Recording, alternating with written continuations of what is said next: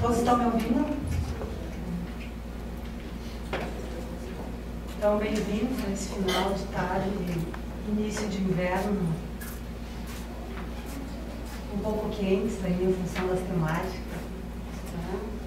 que nos afligem, nos capturam, né?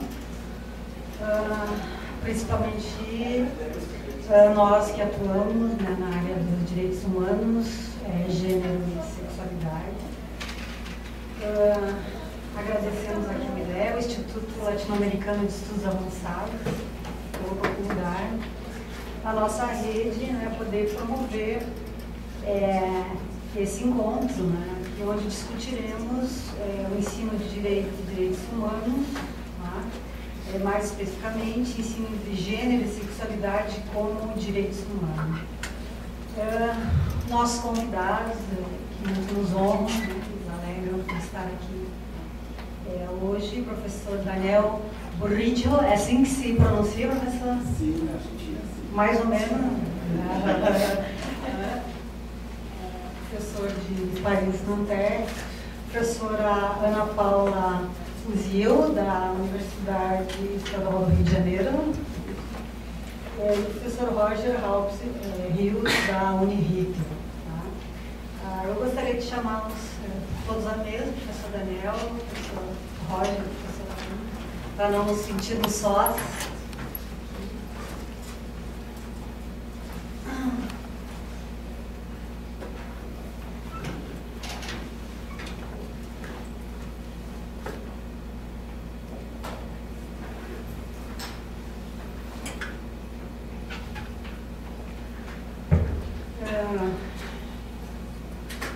Então, de acordo com uh, o protocolo, né, primeiro fala que quem é mais distante, né, o Daniel é, é de Paris, uh, mas agora ele me confessou que, na verdade, ele é bem mais próximo aqui da Argentina, é argentino, né, especializado no estudo é, de direitos, sexualidade, de direito à não discriminação. É, professor Daniel, é, eu cometi a invasão assim, né, nessa época, em que toda a nossa vida íntima né, está para ele pelo mundo virtual, né, dar uma rastreada assim, em algo da sua trajetória. Uh, e se o senhor me permite, né, claro, o senhor pode discordar se for alguma mentira de internet. né? Então, uh, achei muito interessante, né? É, algumas passagens da sua vida aqui. É, tem um pesquisador, professor, geógrafo Milton Santos, né, que diz que é, trajetórias pessoais podem nos dar assim, um ar meio americano né, e ao mesmo tempo nos desnudam.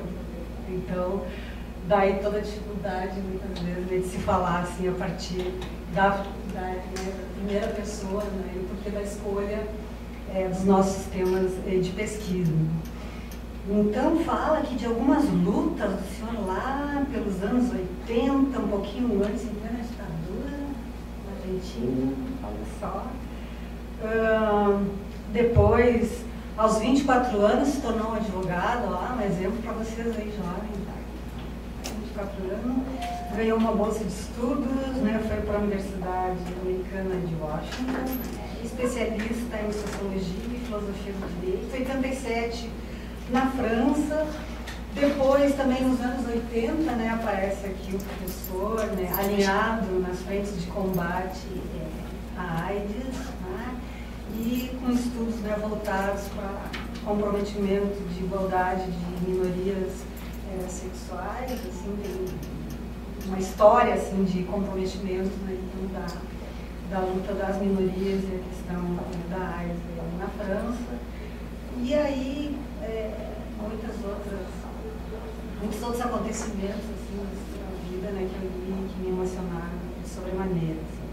Uh, interessado né, em estudar, trazer para o campo científico discussões em torno da homofobia, sexismo e antissemitismo, né, assim como racismo e outras formas né, de marginalização é, social e cultural. Né? Uh, Bom, eu acho que eu dei um, é, um panorama geral aí depois passado uma trava ali do professor Daniel. Então ele passa a palavra, né, por 20 minutos, né? Uh, depois os palestrantes e depois abriremos o debate. Senhora.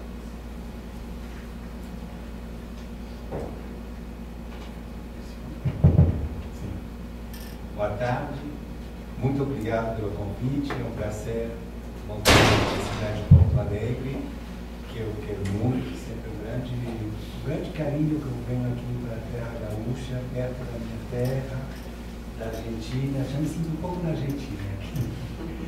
E, bom, então eu estava é, pensando, quando pensei no convite, o que eu ia falar, eu pensei que eu realmente não tinha muita coisa para dizer do ponto de vista pedagógico, eu não sou pedagogo, eu não sou um especialista do ensino. Aliás, é, eu não, não, não pelo contrário, eu acho que mais do que aprender, temos que desaprender. Para aprender, primeiro temos que esquecer o que aprendemos, que acho que desaprender umas coisas erradas, mal. Então, eu queria mais assim, como trazer uma, uma percepção mais teórica e mais assim, crítica, não? Do, da maneira que nós vemos a questão do gênero, a questão dos direitos humanos, e nos disfarcer dos óculos, retomando a metáfora de Pierre Bourdieu, que nós vemos a realidade com óculos. E esse óculos não dá para enxergar muito bem. Então temos que, às vezes, trocar os óculos para ver outras coisas. Disfarcer esses óculos com os quais estamos habituados a, a olhar uma realidade, eh, pois esses óculos, às vezes, mostram certas coisas, as que aparecem evidentes, que não são e esses óculos também ocultam outras coisas. Coisas que não estamos habituados a ver. E justamente essa noção de habituado a ver me lembra também uma, uma, uma palavra que me faz pensar numa noção de Pierre Bourdieu, sociólogo francês, de habitus, hábitos, não? Que entendia então como um sistema de disposição durável, uma, uma, uma maneira de se instalar e de ver as coisas, esse sistema que integra todas as nossas experiências passadas e funciona a cada momento como uma matriz de percepção, de apreciação, de ação. Essa é uma coisa que não sabemos que está nos condicionando para ver de uma maneira e atuar então, dessa maneira. Então, isto pode servir como um ponto de partida para tentar sair das evidências próprias a esses dois conceitos, que eu acho são utilizados em demasia, gênero e Deus humanos. Quando eu estava na Argentina, estava proibido falar disso, curso de ensino proibido. E depois, quando fui na França, não se falava de gênero porque não era muito Hoje, todos os programas de pesquisa têm que ter humanos. Coisa nova. Então, agora eu, que fui tão defensor de direitos humanos e do gênero, tenho agora que ter uma posição também de crítica, às vezes, da maneira em que falamos de direitos humanos e do gênero. Simone de Beauvoir, que é uma escritora, uma filósofa francesa que eu gosto muito, ela não falava de gênero. E é difícil encontrar na tradição francesa a lição genre, gênero ela falava mais de divisão dos sexos. A condição sexual, segundo a Simone de Beauvoir, não corresponde a nenhum destino fisiológico, a nenhum destino psicológico, a nenhum destino econômico. Ela falava que a biologia, a psicanálise, a economia e os mitos, é interessante que ela coloca a economia a psicanálise como mitos, ao mesmo nível, ela fala a biologia, a psicanálise, a economia e os mitos, bom, a mesmo nível, construem dispositivos argumentativos para justificar a submissão da mulher. E toda a obra de Simone de Beauvoir tem um grande mérito justamente destruir, que se de desconstruir, desaprender. Ela me ensinou a ver de outra maneira a realidade, Simone de Beauvoir. É um trabalho maravilhoso, não? segundo sexo. Então, a destruir esses argumentos de maneira magistral. E logo, 50 anos depois, que essa grande mestre do pensamento, que ele abriu a cabeça daquele argentino com 20 anos, que leu o trabalho dela, que ela falou, a mulher não existe, que é uma construção social. Que isso? Como que existe? não, a enxergar de outra maneira a realidade, olha que 50 anos depois eu vou ler um livro que foi um grande amigo que eu conheci pessoalmente, no prazer trabalhar com ele, que foi Pierre Bourdieu, com a dominação masculina. Isso na França, não? no português, a dominação masculina. E no trabalho então, de Bourdieu, como ele vai completar o trabalho de Simone de Beauvoir, justamente entre, não chama um trabalho filosófico dela, mas um trabalho realmente sociológico, onde vai explicar os mecanismos dessa forma particular de violência simbólica, não falei, mas também material. Violência também é material. E depois eu gostei muito do, do Goffman, não? aquele sociólogo também, que vai descrever o gênero como código fundamental em torno do qual se articulam as interações humanas e se organizam as estruturas culturais. As diferenças sexuais, diz Goffman, eh, objetivas, pode ser a diferença genital, por exemplo, a diferença física, essas diferenças sexuais objetivas são menos relevantes que, do que o dispositivo cultural que faz dessas diferenças um sistema de nossas convenções sociais tão inteligível, tão claro, tão transparente, que, apaga, que acaba aparecendo como natural. E como disse Derrida, o grande filósofo o logofalocentrismo, crítica do logos, como a palavra, a ação grega imensa da, da, da, palavra, epistemologicamente, então, como sistema de crescimento nacional, o logofalocentrismo, ele coloca o falos, que é a também, é constitutivo das nossas categorias epistemológicas mais. Porque estamos vendo a realidade de maneira logocentrista, falocentrista, é, de maneira heterossexista, de maneira sexista, porque isso não cabe em Como disse Menino no trabalho dele sobre o racismo, diz, o racismo aprendemos dele, sabe, como comendo bolachinha com leite, de criança. É coisa que se aprende assim de maneira natural e evidente, porque todos somos racistas, todos somos sexistas, todos somos homófobos, porque moramos numa sociedade que ela é lida com isso. O que é que é a educação e a, e a, e a, e a aprender? Justamente é conseguir sair disso para outra coisa. Porque naturalmente vamos para isso. Naturalmente vamos para o racismo, naturalmente vamos para o sexismo, naturalmente vamos para a misoginia, para a homofobia. E a educação é desaprender isso. Temos sempre uma tentação para voltar para isso. Então, a atitude é justamente sair de lá. E esse globo falocentrismo está constituindo tudo isso. Isso é o leite, como disse o menino, o menino, o leite que a gente come assim com cada manhã, com uma bolachinha, porque cada nossa civilização dá de maneira permanente, cotidiana, não sistemática. E o direito, claro, o direito, entanto que forma legítima a dominação social, não fuge, não só não fuge dessa doxa, dessa questão, dessa maneira não, de ver o gênero e as sexualidades, muito pelo contrário, o direito organiza essa coisa e a legitima socialmente. Você imagina quanto eu trabalho nós juristas para desfazer as categorias e desfazer o nosso próprio efeito que é o direito, que está legitimando isso. Mas ele tem que mudar, porque ele tem que passar para outro registro. Não?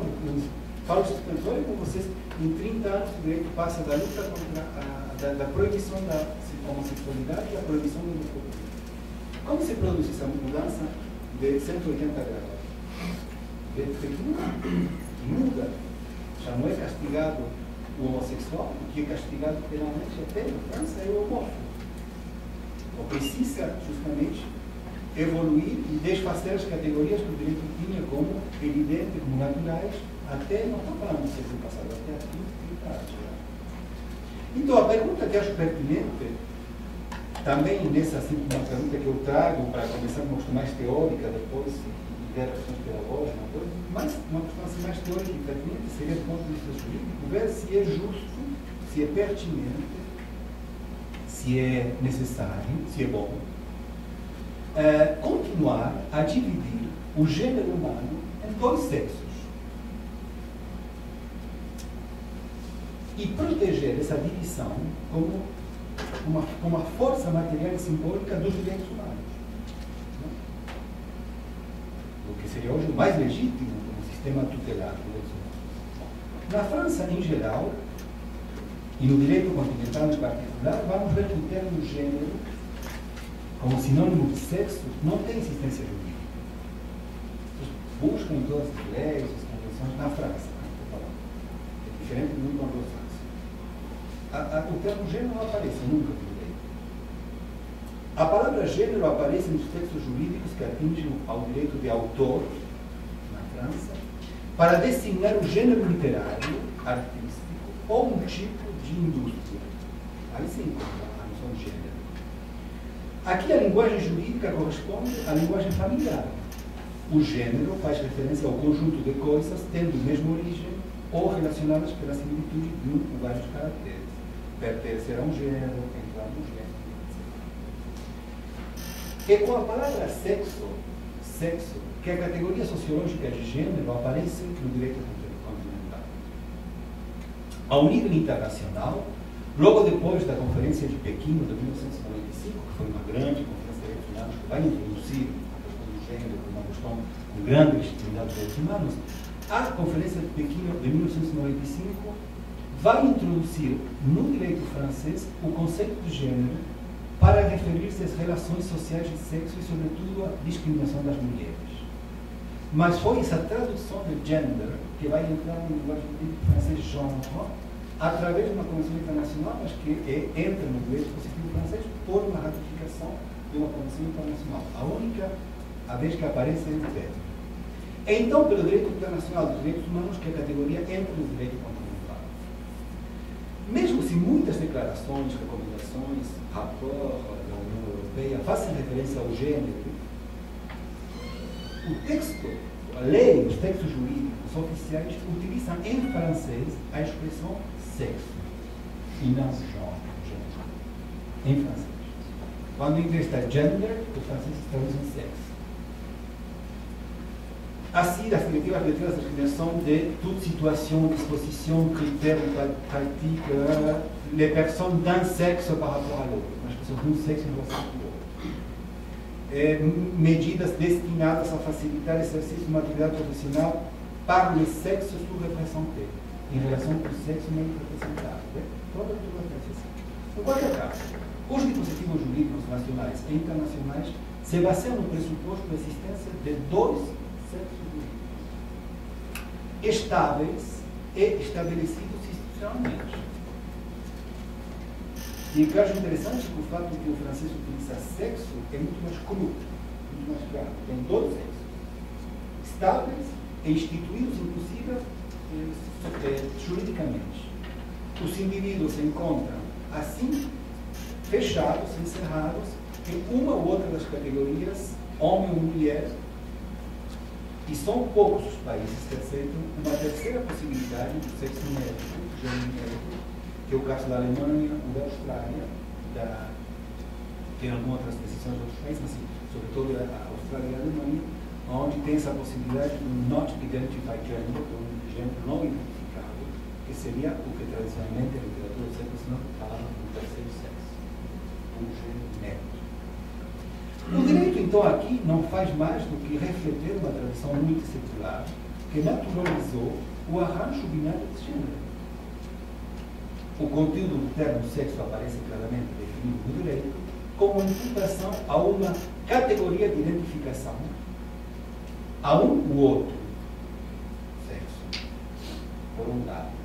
Mas também o sexo como categoria, que seria em inglês o gender, aparece como uma obrigação a não discriminar. E isso é, acho interessante vocês verem essa diferença do termo sexo, ao mesmo tempo como identificação de Estado. Vocês se inscrevem, não, vocês são obrigados pelo Estado a se inscrever num ou outro sexo, desde o nascimento. É uma categoria de Estado imposta aos indivíduos, o que chamamos sexo identificação como identificação do Estado, como identificação de ordem pública, como identificação uh, necessária e obrigatória dos católicos, e ao mesmo tempo o sexo, o gênero, o gender, como proteção contra a discriminação baseada no sexo e no gênero. E acho muito importante, então, ver essa diferença entre o sexo como identificação pelo direito e o sexo como proteção tutelar. Porque eu vou ter uma atitude muito crítica em relação ao primeiro e vou resgatar politicamente Vamos tentar rapidamente explicar para vocês que não são juristas, acho não são juristas, algum tem. O que é essa, essa noção de sexo, que vocês podem considerar aqui como gênero português, gênero inglês, como categoria de identificação? Porque é engraçado, as pessoas jurídicas, no direito, as pessoas físicas, pessoas jurídicas, são moral. São moral é a associação, a, a fundação, a universidade, o Estado, a igreja, são pessoas morais, pessoas jurídicas. Elas não têm sexo. E funcionam muito bem. Entanto, a que ter sexo. Parece que ela se não tem sexo, juridicamente não funciona. Desde o nascimento, então, os indivíduos estão juridicamente classificados na categoria de macho ou fêmea. Essa imputação encontra sua origem na noite do tempo da nossa tradição, nossa civilização judeu-cristã as tradições africanas, mas aqui impõe nossa, o nosso direito, que é a tradição judeu-cristiana. Já você ver no Gênesis na Bíblia que diz como a costela que havia tirado do homem, o Senhor Deus fez uma mulher e a levou até ele. Disse então o homem: Esta sim é osso dos meus ossos e carne da minha carne. Ela será chamada mulher, mulher porque do homem foi tirado. Por essa razão, o homem deixará pai e mãe, se unirá sua mulher, e eles se tornarão uma só carne. A evidência de uma humanidade binária e heterossexual, que estamos vendo que depois logo da criação homem-mulher é a necessária não, relação heterossexual desse homem com essa mulher. A evidência, então, dessa humanidade binária e heterossexual encontra sua origem na Bíblia. Imagine já mas também muitas tradições até novas, né? por exemplo, os franceses que falam de é, butoir ultime de la pensée. Essa realidade do sexo masculino feminino, essa binaridade é o que nos permite compreender o mundo. Não tem o dia e a noite, o século único, o frio o quente, tem homem e mulher. Isso se falou na França no debate sobre matrimônio gay ou pax. E era, não era, eh, não era um, um, um, papa que falava disso, eram sociólogos, antropólogos do Colégio de France. Bom, desde a origem, você vê essa, essa imputação sexual dos indivíduos não somente tem uma finalidade reflexiva em relação falo com si, com si mesmo, não? De, de se pensar a si mesmo como homem e como mulher mas também uma finalidade relativa, quer dizer, em relação com o outro. Mas nessa relação com o outro, a questão do sexo não aparece como uma relação puramente inocente. Porque nos textos jurídicos da história do direito, vocês, vão ver que essa noção relativa do sexo no direito aparece sempre como uma subordinação, apresentada como uma necessária complementaridade. Mas essa complementaridade nunca foi igual foi uma complementaridade que subordina um sexo em relação ao outro. Se trata ao mesmo tempo, então, de ser definido pela instituição, você nasce, a instituição define que você é homem ou mulher, para logo você tentar autodefinir-se e designar a alteridade para descrever a necessária complementaridade do outro. Então, subordinação e supremacia aparecem como a referência do direito para organizar certas formas de organização social. O sexo indica, ao mesmo tempo, a natureza biológica dos seres macho e fêmea e as relações familiares e sociais do masculino e do feminino.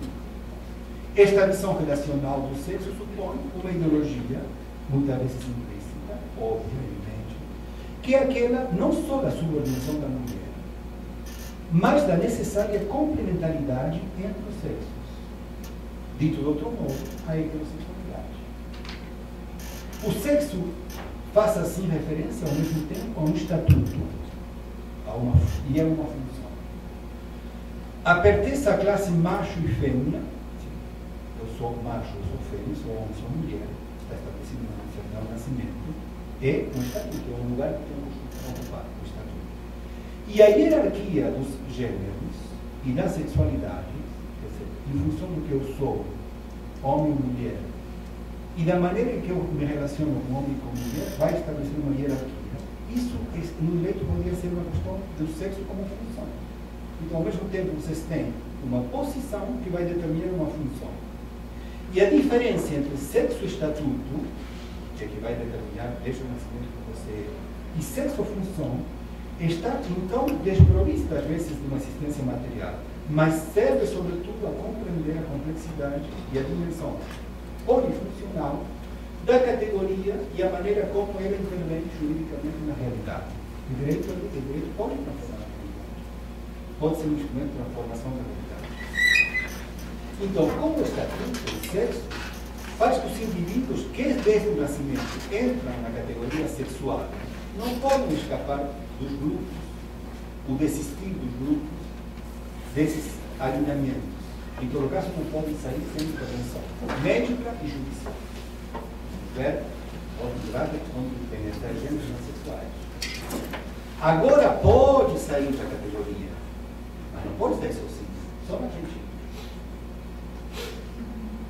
Certo? Não pode sair sozinho. Tem que sair com a tutela ou do médico, ou do ou do e depois do isso. Não, eles sim sabem como é que deixa a cirurgia. Pelo fato da permanência, então, do signo biológico da diferença de sexos, é difícil. O sexo aparece assim como o caso mais estrito de implicação identitária. Se trata de um partilhamento irremediável da humanidade, pois é fixado de maneira definitiva. E só pode sair se tem essa exceção da autorização médica e logo judicial. Olhem como, você, como vocês como é difícil que o artigo 57 do Código Civil francês diz, exportou a certidão do nascimento enuncia o dia, a hora e o lugar do nascimento, o sexo da criança, os nomes e sobrenomes. Depois, são o exame dos órgãos genitais determina a pertença a um ou outro sexo. O reconhecimento desse estatuto pela sociedade é o estado civil e a atribuição do nome que que estar adequado ao sexo aparente. Segundo a jurisprudência francesa, todo indivíduo, mesmo se apresenta anomalias, anomalias orgânicas, deve estar obrigatoriamente inscrito em um ou outro dos sexos, masculino ou feminino, que deve ser mencionado no certidão de nascimento. Não tem como ser. Além disso, a Instrução Geral do Estado Civil vai precisar, cito, que quando o sexo da criança é incerto, Convém evitar indicar na certidão de nascimento sexo incerto. E o secretário do cartório deve aconselhar ao, aos pais para que consultem um médico para saber qual é o sexo que aparece como mais provável. Será esse o sexo indicado no registro. Conhecido antigamente como hermafroditismo, hermafroditismo Agora se diz intersexualismo. Mas eu gostava do filho de Hermes e de Afrodite. Muito mais filho de Hermes e de Afrodite do que da medicina tradicional.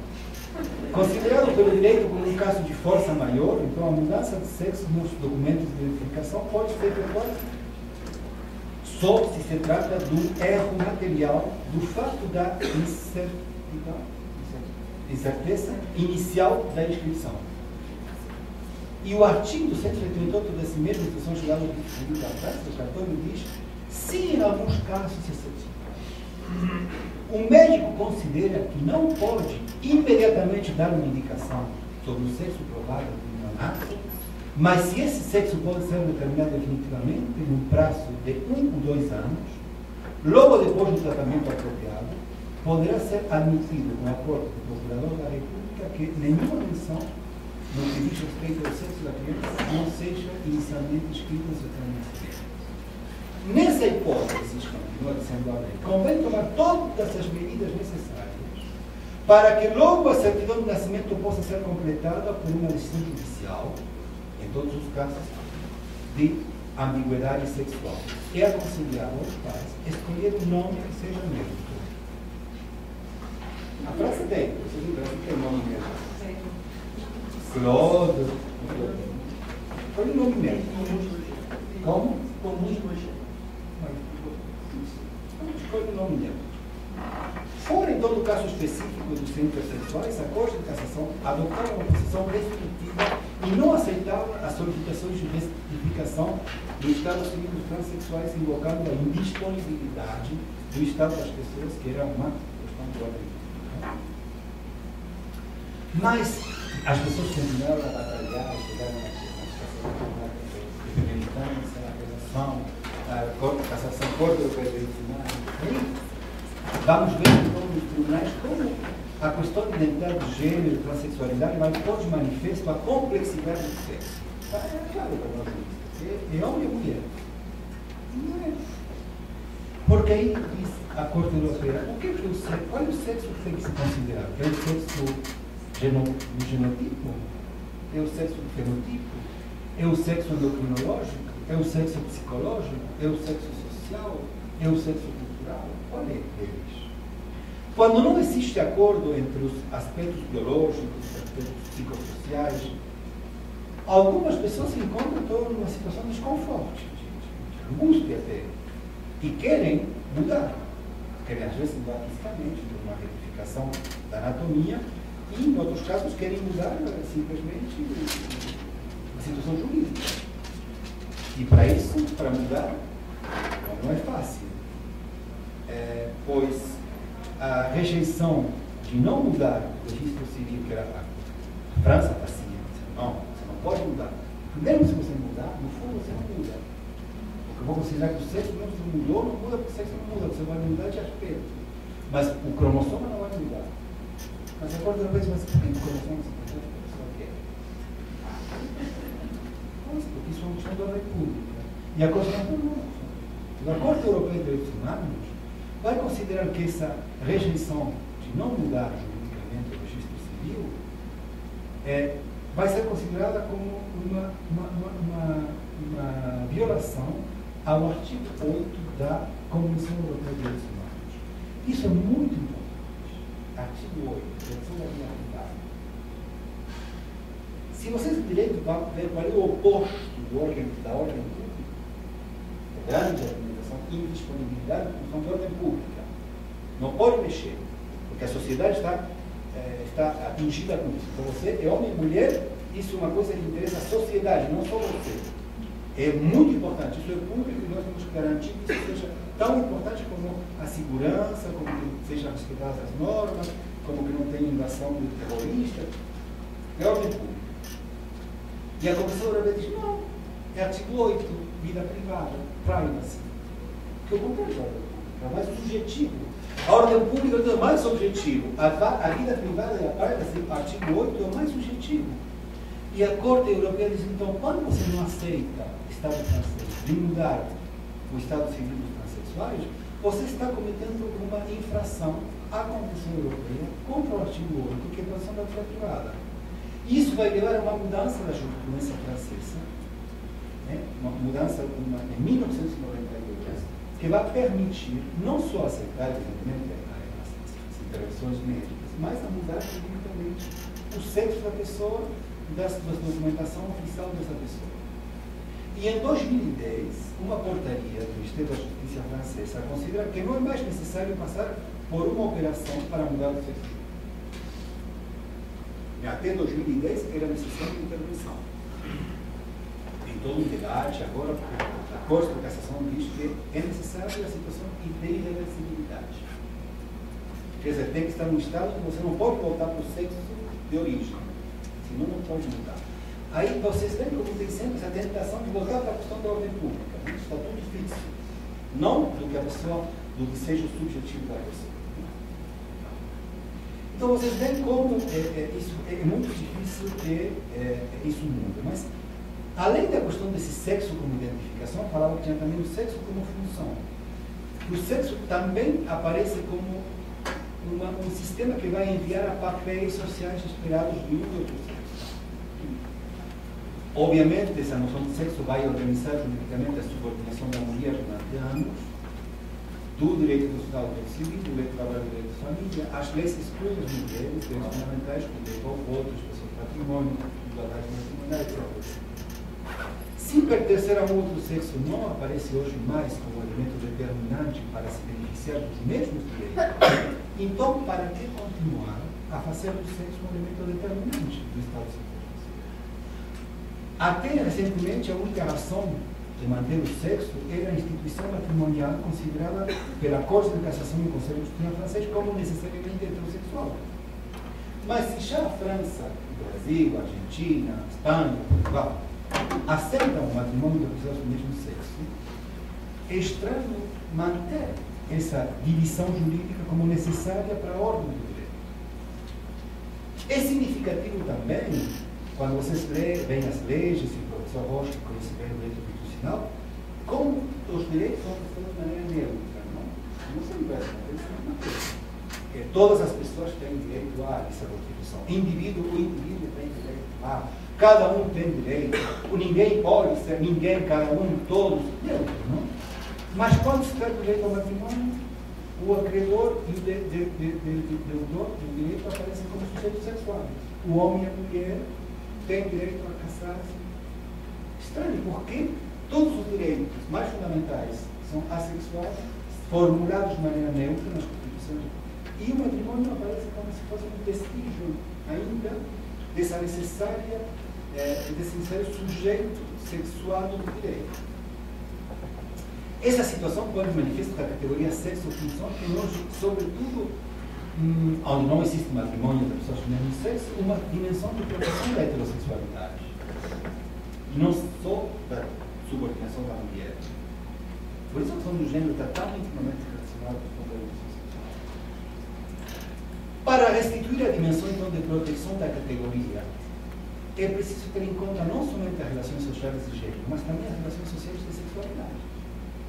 Quer dizer que temos que ver também como, dentro do gênero, vamos encontrar a questão da orientação sexual. E como tem uma subordinação também nas relações sociais em relação não ao masculino ou feminino, mas ao heterossexual e homossexual. Bom, então, eu critiquei, tenho cinco, três minutos agora já critiquei muito a categoria como identificação. Como eu acho que a categoria pode funcionar, que para mim é uma categoria que pode ser boa direito como proteção. Eu, então, eu, eu critico o gênero de identificação, mas eu acho que ser o gênero não discriminação. A análise do direito positivo mostra que o fato de pertencer a um outro sexo não comporta uma diminuição dos direitos. Efetivamente, as regras que influenciam a mulher hoje foram modificadas graças à luta feminista e tudo políticas discriminatórias, a promoção da igualdade. Então, isso aparece assim como uma categoria de proteção e de emancipação. Então, como categoria antidiscriminatória, acho que o sexo, é, é, é, o gênero, é bom que se mantenha de maneira constitucional, no ambiente dos direitos humanos, necessária, fundamental, para a consolidação da igualdade. O sexo não deve ser entendido aqui como mulher ou como classe de mulheres, mas também como proteção de qualquer sexualidade, de qualquer sexo.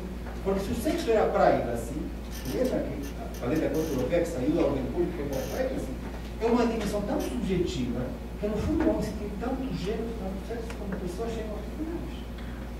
Aquele que era mulher, homem, depois não quis ser nem mulher nem homem, quis ser mulher, mas ele pode ter voltado se quer ser mulher, não quis ser nenhuma coisa nem outra, mas não quis ser as duas coisas ao mesmo tempo.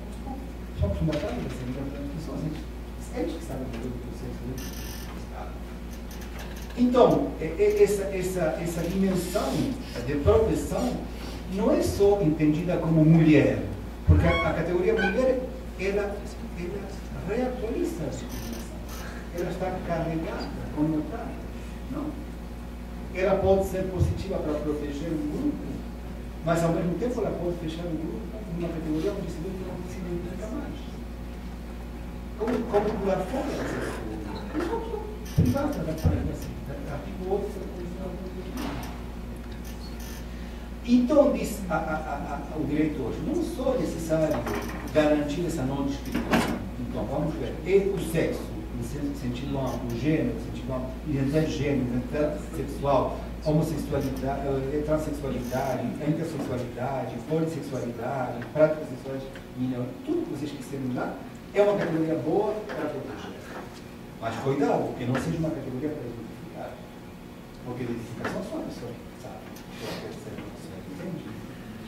E também, diz a lei, não é só necessário a não discriminação, é necessário promover a diversidade. O CERTEI é uma categoria de promoção da diversidade como mostra as políticas públicas de paridade, que também podem ser utilizadas por outros grupos, não só a mulher. O fato, por exemplo, hoje, que no direito do trabalho a penibilidade aparece como uma categoria muito mais pertinente que a categoria sexo. Porque a mulher já não faz o mesmo. No século XIX era pertinente no direito tradicional. Hoje o que é pertinente é a penibilidade, há pessoas que fazem um trabalho que é penoso. Então, essas pessoas têm que ter uma posição especial não homem ou mulher. Porque a mulher já não é necessariamente aquela que faz trabalho de Deus. Pode ser qualquer uma. E pode ser um imigrante homem. Ou uma mulher francesa. Não? Então, para acabar, é, é, é, é, pertinente manter a categoria de sexo no direito? É pertinente manter essa divisão, essa classificação binária no direito? É, como resolver esse paradoxo? Não? Que eu digo, rejeitar a categoria sexo como identificação pública e reivindicar a categoria sexo como antidiscriminatória. Provavelmente, uma maneira para resolver o paradoxo é considerar que a noção de sexo tem cada vez mais um uma dimensão psicológica do que uma dimensão biológica. As decisões da Corte Europeia de Direitos Humanos e as regulações internacionais em matéria de identidade de gênero põem o acento no sentimento subjetivo, o desejo de pertencer a um ou outro sexo, do que aquele que foi imputado no nascimento. Se a pessoa jurídica moral não tem sexo, por que está para continuar a manter esse sexo nas pessoas físicas? Para concluir, então, e responder à pergunta é justo, é pertinente as pessoas do gênero humano em dois sexos? Depende. Não quando a categoria sexo é imposta pelo Estado para identificar as crianças logo depois do nascimento. Sim, quando a categoria serve como proteção contra a discriminação e como medida corretora favorizando a diversidade, mas a condição que a noção seja geral, transexual, hermafrodita, práticas sexuais, e permita ao mesmo tempo proteger e promover todas as dissidências sexuais.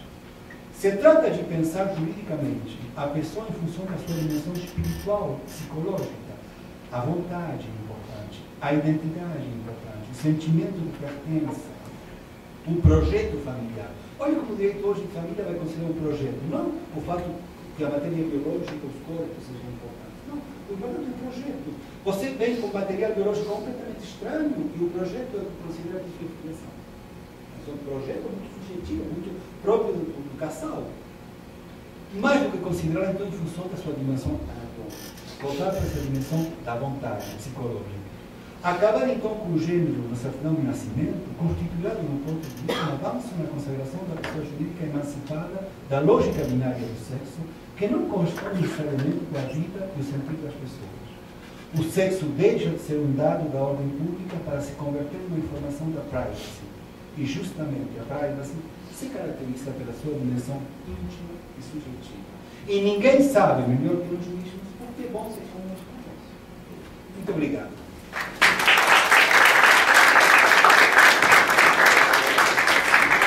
Obrigada, professora. Então, passamos rapidamente a palavra. Né? A professora Ana Paula Uziel, graduada em Filosofia pela Universidade Federal do Rio de Janeiro, graduada em Psicologia pela Universidade do Estado do Rio de Janeiro, mestrado em Psicologia e Psicologia Clínica né, pela PUC do Rio, doutorado em Ciências Sociais pela Universidade Estadual de Campinas, professora adjunta da Universidade do Estado do Rio de Janeiro. É, eu tive que acessar uma espécie de senha para conseguir ter acesso ao seu currículo, pode estar mais privado a do professor Daniel. Né? Uh, promete também abrilhantar aqui o nosso encontro né, em época de discursos raivosos contra a desintegração das famílias. Palavra, professor.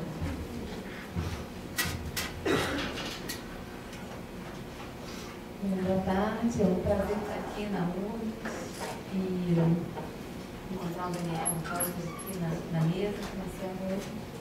Então, também agradeço ao Fernando, que não está aqui.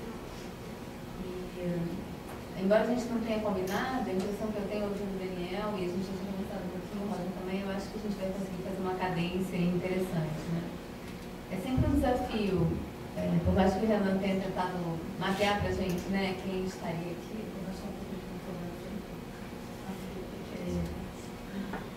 E fiquei pensando o que, poderia ser interessante, né? E, então, eu escolhi pegar algumas situações que eu ouvi, que eu presenciei, que eu discuti, que juntam sexualidade, gênero e direitos humanos a partir do lugar do qual eu falo, para poder pensar um pouco junto com você. Então, acho que pode ser interessante, assim, faço minhas as palavras do Daniel e a gente vai indo nessa.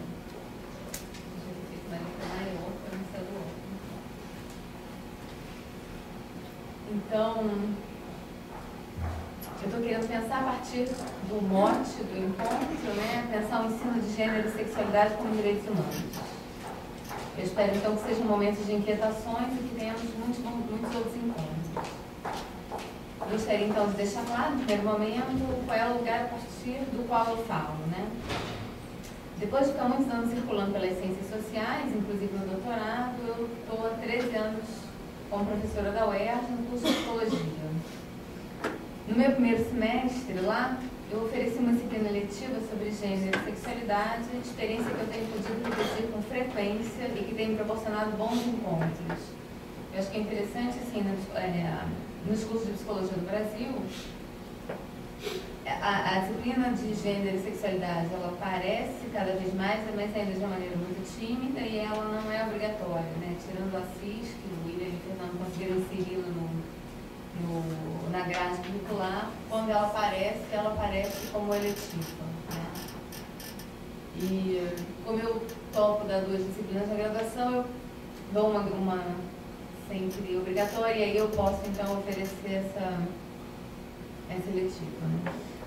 E aí não é, não é todos os semestres, mas é interessante porque no último ano, esse semestre, mês passado, as pessoas têm procurado a eletiva porque elas têm interesse no assunto e ou porque elas acham que não dá para terminar o curso sem discutir essas questões. Então, eu acho que isso é uma, uma, um retorno muito interessante para a gente pensar a questão da formação e a importância da discussão sobre gênero e sexualidade na perspectiva dos direitos humanos. Então, eu gostaria, nesse sentido, de compartilhar com vocês algumas situações vividas a partir desse lugar de supervisora, de, de professora e de supervisora acadêmica de psicologia do programa Sem Homofobia, que eu acompanho desde o início, 2010, no, no Rio, né? Tem o Rio Sem Homofobia e a UERJ é parceira desse, desse programa, né? Que é um programa estadual, então a UERJ está é, desde o início, porque na parceria da universidade com esse programa que, tá, que é da Secretaria de Direitos Humanos, estava prevista a criação de um laboratório, que é o LIDES, que eu coordeno, que é Laboratório Integrado de Diversidade Sexual de Gênero, Políticas e Direitos, que é um laboratório interdisciplinar, então tem gente da psicologia, do serviço social, da medicina social, das ciências sociais, do direito. Essa é a proposta. E é, eu acompanho os psicólogos e os estagiários de psicologia, o professor Guilherme Almeida acompanha os assistentes sociais e os alunos de serviço social, o que é muito interessante. Então, as situações que eu elenquei aqui para trazer para vocês, para pensar um pouco, elas vêm tanto da minha experiência como professora dessa disciplina, né, de gênero e sexualidade, quanto dessa supervisão acadêmica desse trabalho. No doutorado, eu estudei processos de adoção por casais do mesmo sexo. Era final da década de 90, um mundo completamente diferente no que diz respeito à garantia de direitos LGBT no Brasil. Né, a gente conversava agora no carro, dizia que 15 anos atrás era outro mundo. Né? Ele dizia, mas 5 anos atrás era outro mundo também. Se a gente tem dos anos, do ano 2000 para cá, né, uma, não tenho nenhuma dúvida de que a gente tem avanços muito significativos nos últimos anos, a impressão que a gente tem, infelizmente, é de um retrocesso, especialmente com esse congresso aí que a gente tem. Né? De qualquer maneira, é, a gente tem esses, esses momentos históricos aí como referência. Né? Naquele momento me chamava a atenção a construção dos argumentos dos juízes e, desembargadores que concediam a adoção a casais de homens em que imperava a lógica do mal menor. Melhor a casa de dois homens do que o abrigo. Então isso é muito interessante, porque esse tal de melhor interesse da criança, a gente sabe que isso não é uma definição em si, né? E o que era mais curioso, que eu tive a oportunidade de ver em dois processos, que e tese, que as pessoas utilizavam o mesmo artigo do ECA para defender posições opostas. Né? Então eu acho isso fascinante. Quais eram os direitos ali em pauta, tanto das crianças e dos adolescentes, quanto desses adultos que se tornavam pais? O que significava proteção naquele momento nessa lógica do mal menor? Logo no início da minha vida como professora na UERJ, recém-ingressada na universidade, eu ouço de uma aluna nessa disciplina eletiva. Né? Você diz que homossexualidade pode, então pedofilia também pode. Naquele momento eu precisava entender qual era o raciocínio dela. O que a fazia aproximar homossexualidade e pedofilia, temáticas que poucos anos mais tarde eu soube que eram tratadas quase como sinônimos por uma psicanalista que supervisionava atendimentos a casos de abuso sexual sofrido por crianças. Eu não estou dizendo por isso que a psicanálise pense assim, né? não existe a psicanálise, existem diversas leituras, umas interessantes outras deploráveis, né? E essa era uma que vigorava na universidade. Pareceu-me que o mundo para ela, tanto para essa aluna quanto para essa supervisora, se estruturava entre a heterossexualidade e o resto.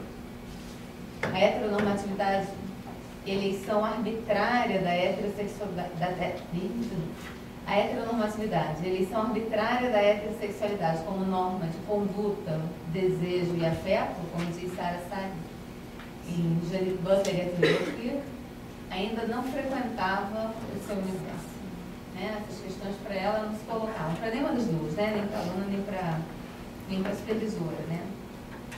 Essa invisibilidade da heterossexualidade, da heteronormatividade era o que reinava. Essa matriz normativa também se atualizaria anos mais tarde em uma pesquisa que eu tentei realizar em várias de família. Conversei com uma juíza, eu trabalho com psicologia jurídica, né? eu não disse isso no início, então essa interface aí da psicologia da ciência do direito me fascina. E as minhas pesquisas vão sempre tentar juntar essas duas, essas duas áreas. Né? Eu comecei lá com a adoção por homossexuais e fui indo, depois eu conto mais.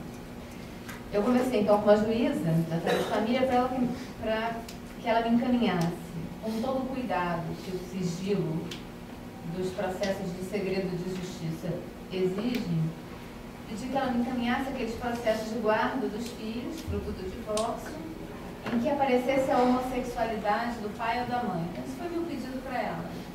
Tem casos aqui em que as pessoas se separam e aparece a homossexualidade, sob forma de acusação, sob forma de, é, de temor em relação ao desenvolvimento psicológico dos filhos, né? Tem esse tipo de processo? Tem. Então, eu queria ler, né? Eu queria ler para ver como é que se posiciona o juiz, como é, como é que se vai caminhar essa sentença, o Ministério Público o que, é que faz. Esse foi meu pedido. Eu queria saber como é que a justiça se comportava, se considerava e como a declaração ou acusação da homossexualidade na decisão sobre a guarda. As minhas bolsistas, ao chegarem ao tribunal para pegar os processos, se depararam com processos cujo teor era o pedido de mudança de nome e ou de sexo por transexuais. Um espanto, né? Isso não tem nenhuma relação com o que foi pedido. Foi interessante ter contato com aqueles processos daquele momento, em que eu não tinha pensado ainda em discutir transexualidade, que hoje é um tema de estudo, mas me intrigava mais ainda o percurso. O que fez com que a juíza trocasse o tema pedido? Parecia-me também ali que o entendimento sobre o pedido era algo em torno da sexualidade que escapasse à heterossexualidade, sem que isso fizesse muito sentido. Ela veio aqui pedir alguma coisa em relação à sexualidade, não é heterossexualidade, deve ser isso. Os estudos de gênero e sexualidade vão provocando estranhamentos e deslocamentos. Acho que é isso que esses exemplos e os próximos querem destacar. né? deslocamentos para o bem e para o mal, né? É alguma coisa que perturba, a pessoa não sabe o que, encontra um jeito de classificar que é né? binário, ou é ou não é. Né? Um sujeito é parado numa blitz. O policial, ao pedir os documentos dele, estranha ser uma carteira de identidade de mulher. Antes de um ato mais drástico, chama o outro policial que o acompanha nessa atividade. Ao, ao abordar o motorista, esse segundo policial pega o documento, olha para o sujeito e diz: Pode ir. Você já teve que explicar muita coisa na sua vida. Não precisa explicar hoje nada aqui não. Por isso me arrepio, porque isso é, é de uma raridade, né, de uma sensibilidade. No Rio, os profissionais do Rio Sem Homofobia estão treinando batalhões inteiros. Então, acho que isso já é um pouco reflexo. Fala um pouco da, da importância da discussão de gênero e sexualidade como direitos humanos, que tem que estar presente aí nessa interface, né, na psicologia, na ciência social, nas ciências sociais, no final do ano passado, em função de uma pesquisa piloto, que os pilotos já encerramos, convidamos pessoas trans para discutir o questionário que estávamos construindo.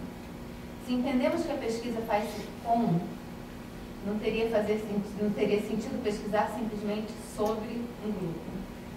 Discutimos então cada termo do questionário, né? foram várias e várias rodadas para a construção desse questionário, uma adaptação de uma pesquisa feita na França. E a gente, depois de amadurecer, a gente chamou lideranças trans do Rio, mas também do Brasil, outras partes do Brasil, para discutir o questionário de fato, né? A gente não estava apresentando o questionário pronto, a gente estava apresentando o que a gente já tinha conseguido avançar para ver o que, as pessoas diziam. Certos de que a palavra readequação era imprópria, buscávamos com as pessoas ali algum termo que julgassem pertinente. Né? Readequação de gênero para a gente parece esquisitíssimo, né? parecia que a gente estava exigindo uma normatividade ali que não era disso que se tratava. Em meio à diversidade de reações que a pergunta suscitou, uma mulher trans afirma a pertinência de mantê-la. Ela já tinha nascido mulher, sabia disso desde tenra infância.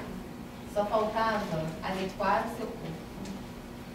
Um pouco mostrar como é que. Estou mostrando um pouco, é, assim, com esse exemplo, também a diversidade né, de, de sentimentos, de, de, de, pertencimentos das pessoas, de entendimento, do quanto a gente tem que ser muito cuidadoso nisso. Né? A gente, a certeza absoluta, queira uma ofensa às pessoas. Né? E o que ela queria exatamente o reconhecimento de que ela era uma mulher de verdade. Né? Essa ideia de que, tão combatida pelo, por partes do movimento feminista, né, que a gente põe em questão hoje, tudo que ela queria era o contrário. Né? O desafio, me parece, é pensar nesses casos e em tantos outros a partir de, perspectiva, de uma perspectiva dos direitos humanos. Que direitos e que humanos, né? Então, assim, é, vou pensar aqui rapidamente com vocês um pouco sobre essa história de direitos humanos, que expressão é essa, para pensar um pouco também, que, trazer alguns apontamentos teóricos para pensar que deslocamentos e desconstruções também de gênero e sexualidade podem propor. Dizem Maria Lívia Nascimento e Cecília Coimbra que os direitos humanos têm apontado quais são esses direitos e para quem eles devem ser concedidos. Ou seja, se tomados em sua perspectiva histórica, tanto o humano como os direitos são construções das práticas sociais em determinados momentos que produzem continuamente esses objetos, subjetividades e saberes sobre eles. Para Deleuze, os direitos humanos, desde a sua gênese, têm servido para levar os subalternizados a ilusão de participação, de que as elites preocupam-se com seu bem-estar, de que o humanismo dentro do capitalismo é uma realidade, e com isso confirma-se o artigo 1 da Declaração de 1948. Todos os homens nascem livres iguais em dignidade e direitos. Entretanto, sempre estiveram fora desses direitos à vida e à dignidade os segmentos pauperizados e percebidos como marginais os deficientes de todos os tipos, os desviantes, os miseráveis, dentre muitos outros. A estes, efetivamente, os direitos, assim como a dimensão humana, sempre foram e continuam sendo negados, pois tais parcelas foram produzidas para serem vistas como subalternas e não pertencentes, não pertencentes ao gênero humano. Estou citando alguns trechos aqui do texto dela, assim, beleza? Não há dúvida, portanto, que esses direitos, proclamados pelas diferentes revoluções burguesas, contidos nas mais variadas declarações, tenham construído subjetividades que definem para quais humanos os direitos devem se dirigir. E um pouco nessa perspectiva, interpelando essa perspectiva, né, que, é que essas questões parecem fundamentais. O que propõe os autores é que, ao invés de sublinharmos a ideia de direitos como universal, uma espécie de essência do homem, foco esteja em suas potências e seus diferentes modos de existir no mundo. Nesse sentido, rachar a expressão direitos humanos, tão naturalmente utilizada e mesmo banalizada no contemporâneo, possibilitou-nos pensar na diferenciada emergência histórica desses dois objetos, direitos humanos. Assim, seria uma aposta em um direito e uma humanidade positivada enquanto processos imanentes, não definidos, não dados, não garantidos necessariamente pelas leis, que vêm se tornando cada vez menos jurídicos e cada vez mais normativos, mas que por isso mesmo precisam afirmar a vida em toda a sua potência de criação. Desnaturalizar os conceitos de direitos e de humano exige que inventemos novas práticas e novos meios.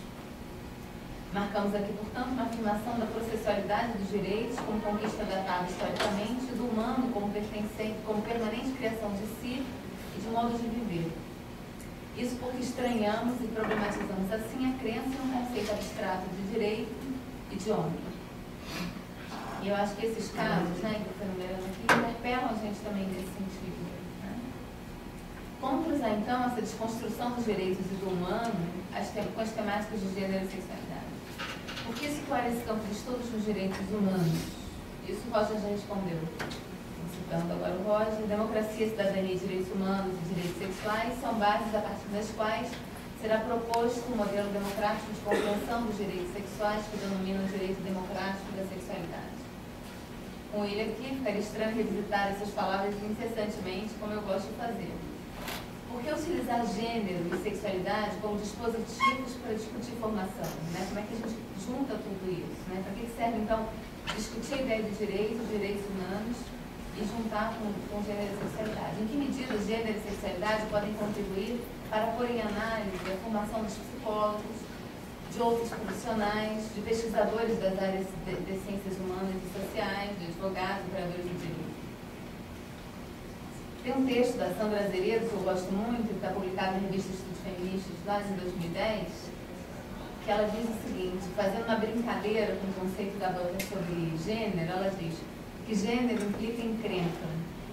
Sobretudo para a psicologia, ela está pensando a psicologia nesse caso, na medida em que essa é uma área disciplinar e a complexidade de gênero, segundo Butler, exige um discurso inter e pós-disciplinar para resistir à domesticação acadêmica.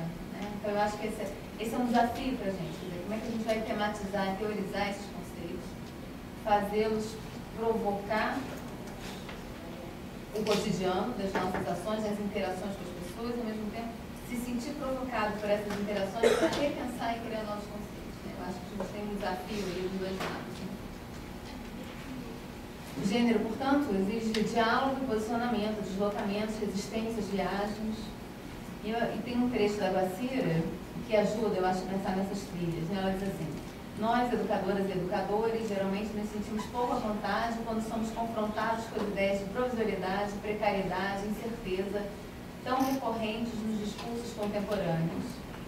Eu acho que trazer para vocês essa fala, tanto essa raridade, né, dessa, desse, desse entendimento desse policial, quanto essa fala que a gente poderia entender como normativa dessa mulher trans, eu acho que perturbam a gente nas nossas certezas também nas, e mostram as provisoriedades aí desses conceitos. Né?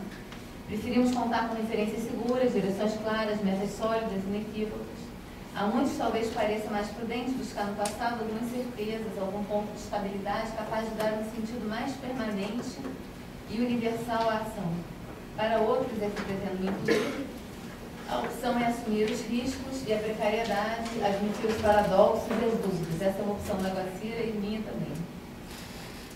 Eu estou convencida de que gênero e sexualidade nos tiram do lugar. Essa semana, na aula, nessa disciplina de de gênero sexualidade, discutimos em sala, os alunos, um capítulo do, do corpos que importam ou que pesam, dependendo da tradução. Um desafio. Foi um desafio fazê-los embarcar nos sentidos que íamos produzindo com a leitura, mas prazeroso perceber as rupturas que se instauravam ali naquele momento. Era muito interessante porque, ao mesmo tempo que eu estava trazendo, tentando trazer um discurso absolutamente disruptivo, né? essa pelo menos era a intenção, discutindo o texto da Butler, que é um texto difícil, denso, com uma outra lógica, o menino ficava me perguntando tempo inteiro sobre a espécie humana. Né? Então, sobre a natureza da mulher. E aí, assim, é um desafio de lidar com a diferença, porque é um pouco isso que essa mulher trans fala, quando ela diz, eu tenho uma natureza feminina. Né? Eu já nasci mulher, e me lembra muito aquele filme Minha Vida em Cor de Rosa, não sei se todo mundo viu, mas. É maravilhoso, super delicado. E uh, o menino, ele, ele se convence né, que ele nasceu no corpo errado, né, que ele é uma menina. Então, como é que a gente consegue lidar com todas essas diferenças que vão aparecendo? À medida que a gente ia tentando desconstruir, decifrar Butler juntos, né, e desconstruir então essas certezas todas, começava a fazer sentido para alguns alunos ir para a noite e ficar com meninos e meninas sem se preocupar em dar nomes conhecidos a desejos que apareciam. Estranhar sentidos tão distintos para o peito que pode aparecer na amamentação, mas não pode aparecer no topless, nem no posto 9 em Ipanema, um, lugar, um local de desconstruções em vários momentos. Né? Então, ao mesmo tempo que esse menino, ele dizia, não, mas claro, o peito é para amamentação, então foi feito para amamentação, por isso ele está lá no corpo da mulher. E aí você tem que pensar, não, você vai tirar argumentos que interpelem isso, né? Como é que a gente vai fazer o sair desse lugar tão cristalizado? E a ideia não era é, fazer a cabeça no sentido, mas tentar fazer com que ele entendesse qual era aquele raciocínio, para depois ele colar nele ou não, produzir outros. Né? E um, uma das, das noções que eu acho que ajudam a gente também a pensar é a noção de corpos abjetos, né? Então, eu queria que eles entendessem um pouco como é que se produz isso, né? Um outro, um outro exemplo, só para já ir fechando, que foi muito interessante, contei até semana passada rapidamente com o Daniel, a gente teve uma experiência muito gratificante, né? Que foi no ano passado, eu fui convidada para organizar um módulo de psicologia jurídica para o curso da Emerge. Então, os, juízes novos, a turma estava entrando, os juízes, que eram 25 juízes novos, eles eram obrigados a fazer. E além disso, os juízes que tivessem interesse naquele módulo poderiam se inscrever, né? Eu não sei como é que funciona, se é assim em todos os estados, mas eles têm que fazer um número X de horas de aula por ano, lá na Emerge. E aí eu dividi meus dias e, como eu bolei o módulo, eu botei um dia para discutir gênero e sexualidade. Então, discutir infância, discutir é, família, enfim, outros processos, e um dia para gênero e sexualidade. E o que eu fiz foi exatamente pegar vários, é, vários cruzamentos dessa temática que eu achei que desse ser interessante para os vídeos. Né? Então, peguei trechos de casos de pedidos de adoção por casais homossexuais. É, um vídeo estava rolando na, no Facebook na época de um menininho trans, menino americano, enfim, vários temas. E logo no início do dia, uma juíza de família diz pra gente que ela ela concedia né, a mudança de nome, mas não de sexo, e aí ela disse porque isso é erro de pessoa, isso pode gerar um erro de pessoa, foi a expressão que ela utilizou, né? E ela disse, e ela justificava então, dizendo que se um dia essa mulher né, nasceu lá biologicamente com o pênis, mas é uma mulher, se ela um dia quisesse casar, e se ela um dia quisesse ter, e se um dia o marido dela quisesse ter filhos, se essa verdade não fosse revelada, ela estaria, na verdade, assinando embaixo de uma mentira, né? Não foi ela usou, por isso ela usou de pessoa, né? Mas ela estaria corroborando com essa história da não revelação da origem, né? Dessa, dessa sujeita. E aí a gente começou a perguntar para ela onde é que estava o sexo, onde é que estava o gênero, onde é que estava né? Era o quê? Era o órgão sexual? Era o hormônio? O que que fazia? E aí voltando um pouco, né, ao início do Daniel, o que que faz uma mulher mulher? O que que faz um homem homem? Começando a desconstruir essas coisas. E aí foi super gratificante, porque no final a gente terminou e na hora de encerrar ela levanta a mão essa juíza e diz a partir de hoje eu vou trocar o sexo e o gênero, né? o sexo e o nome. Né? E aí foi super interessante como é que ela, é, não só porque a gente ganhou né, essa, na argumentação, mas porque ela disse realmente era tanto se que eu me colocava, né? se casar, se quiser ter filhos, se, se. E de fato de fazer sentido aquela história de que a origem do sujeito, a verdade do sujeito estava ali no, no sexo, naquele corpo formado ao nascimento. Então, acho que isso só, na verdade, reforça essa ideia do quanto é fundamental a gente discutir gênero, sexualidade e direitos humanos na formação, né? seja dos psicólogos, dos juízes, né? dos, dos profissionais de direito e sociais e tal. Então, para fechar, eu gostaria de encerrar provisoriamente a minha fala, tomando de empréstimo autorizado uma fala da Cecília Coimbra, que está numa no livro chamado Operação Rio, ela não está pretendendo discutir, ela, direito, ela discute direitos humanos, não está discutindo gênero e sexualidade especificamente. Se não entendemos direitos humanos enquanto objeto natural investido de uma essência e obedecendo a determinados modelos que lhes seriam inerentes, podemos produzir outros rostos para os direitos humanos. Não mais direitos universais absolutos contínuos e em constante evolução, mas sim a afirmação de direitos locais, descontínuos, fragmentários, processuais, em constante movimento e devir, múltiplos como as forças que se encontram no mundo. Obrigada.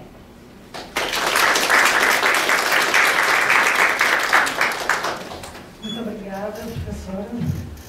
É, passamos então a palavra agora ao professor Roger Ralph Hill, é, possui graduação, mestrado e doutorado em Direito pela URGS, é juiz federal e professor de mestrado em Direitos Humanos da Uniriter, é membro do CLAN, Centro Latino-Americano em Sexualidade e Direitos Humanos, e atua na área de Direito Público, principalmente em temas de direitos humanos, direitos fundamentais, direito da antidiscriminação, direitos sexuais e direitos à saúde. Né? É, em público falo também, confesso o meu nervosismo e a minha alegria estar aqui ao lado do Roger, né, que foi banca no meu doutorado. É, foi bonzinho comigo, né, apesar dos meus, meus, pouco, meus argumentos é, pouco pertinentes lá em relação às travestis, os policiais e os direitos humanos. Né? É, e além disso, né, o Roger muito nos orgulha, que ele é um, é um pioneiro. Né? É, como membro do Judiciário Federal, ele decidiu um caso inédito, até então, lá no final da década de 90, no final da década de 90, onde se discutia a discriminação por orientação sexual, no caso, a inclusão de um companheiro do mesmo sexo no plano de saúde. É, com vocês, então, professor Roger. Falou. Bom, ser, como último a falar, em primeiro lugar, eu queria, vou propor, assim, talvez me aproveitar muito do que o professor Daniel e a professora Ana falaram e encaminhar algumas questões, abrir algumas coisas, né? Dizendo um pouco da, da, da experiência que eu, que eu posso trazer. Né?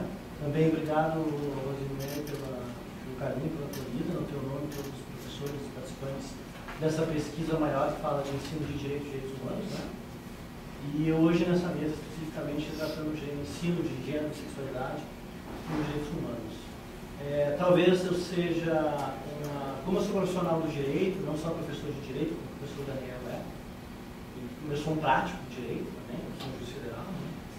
é, eu percebo algumas coisas também de uma outra perspectiva que eu gostaria de acrescentar. E antes de começar, só para dizer assim que é, a Rose disse que dá um pouco nervosa, eu fico é, também não nervoso, mas um tanto tocado pelo momento, porque aqui tem várias confluências da minha vida. Eu, antes de fazer direito, eu estudava aqui no prédio 40, eu fiz uma, uma parte com ciências sociais aqui no Campos do Vale, não sei quantos de vocês estudam aqui no Campos do Vale, uma faculdade de educação, assim por diante.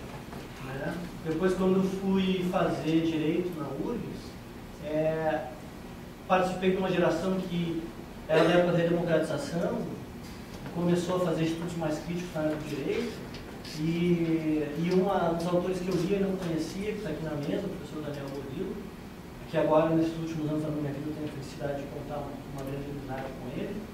Ao mesmo tempo, logo que passei no concurso para juiz, tive decidi causas envolvendo direitos sexuais que até então eram inéditas, e um dos lugares que eu mais encontrei espaço para pensar, para aprender, para discutir foi o CLAN, Centro Latino-Americano de Direitos, Sexualidade e Direitos Humanos, a ANA, né, da UERJ, a UMS, a Ana é uma professora da UERJ, e o professor Daniel também agora está lá no UMS, agora fazendo um período de dando os cursos.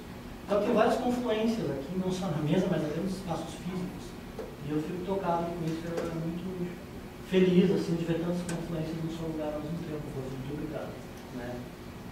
Bom, estava pensando assim, ó, o que falar? Se o tema geral é ensino de direito e direitos humanos, é, eu queria colocar assim, um pouco a, essa, essa, trajetória, né, como o Daniel e a Ana fizeram. Eu sou professor de direito há 20 anos, mais ou menos, 21 anos. E nesses 20 anos eu sempre trabalhei com direitos humanos, direitos humanitários. E no direito a gente costuma fazer uma distinção técnica, quer dizer, direitos humanos são aqueles dos tratados internacionais, direitos fundamentais são aqueles da Constituição, que em grande parte coincidem, então não vou entrar nesse detalhamento, não é necessário. Mas nesses 20 anos eu tenho, sempre tenho ininterruptamente trabalhado com o ensino de direitos humanos, direitos fundamentais, em vários ambientes. Promotoras legais populares em várias favelas e vilas de Porto Alegre. Ativistas de direitos humanos, Brasil afora, seja da área uh, chamados LGBTQI, CXK, não sei o que lá, e mais outros grupos. Né? Estudantes de graduação de faculdades de direito, inclusive foi para um certo tempo, anos atrás. Né? Agora na Unirita, nos últimos anos, não só na graduação, como no mestrado em direitos humanos. No Brasil, há só cinco mestrados em direitos humanos, eh, estrito senso, especificamente direitos humanos, na área do direito. Nós somos um desses cinco mestrados. Né? E, então é uma outra experiência que tem cinco anos agora. Né? E, e também como juízes. Eu vivo dando aula, vivo.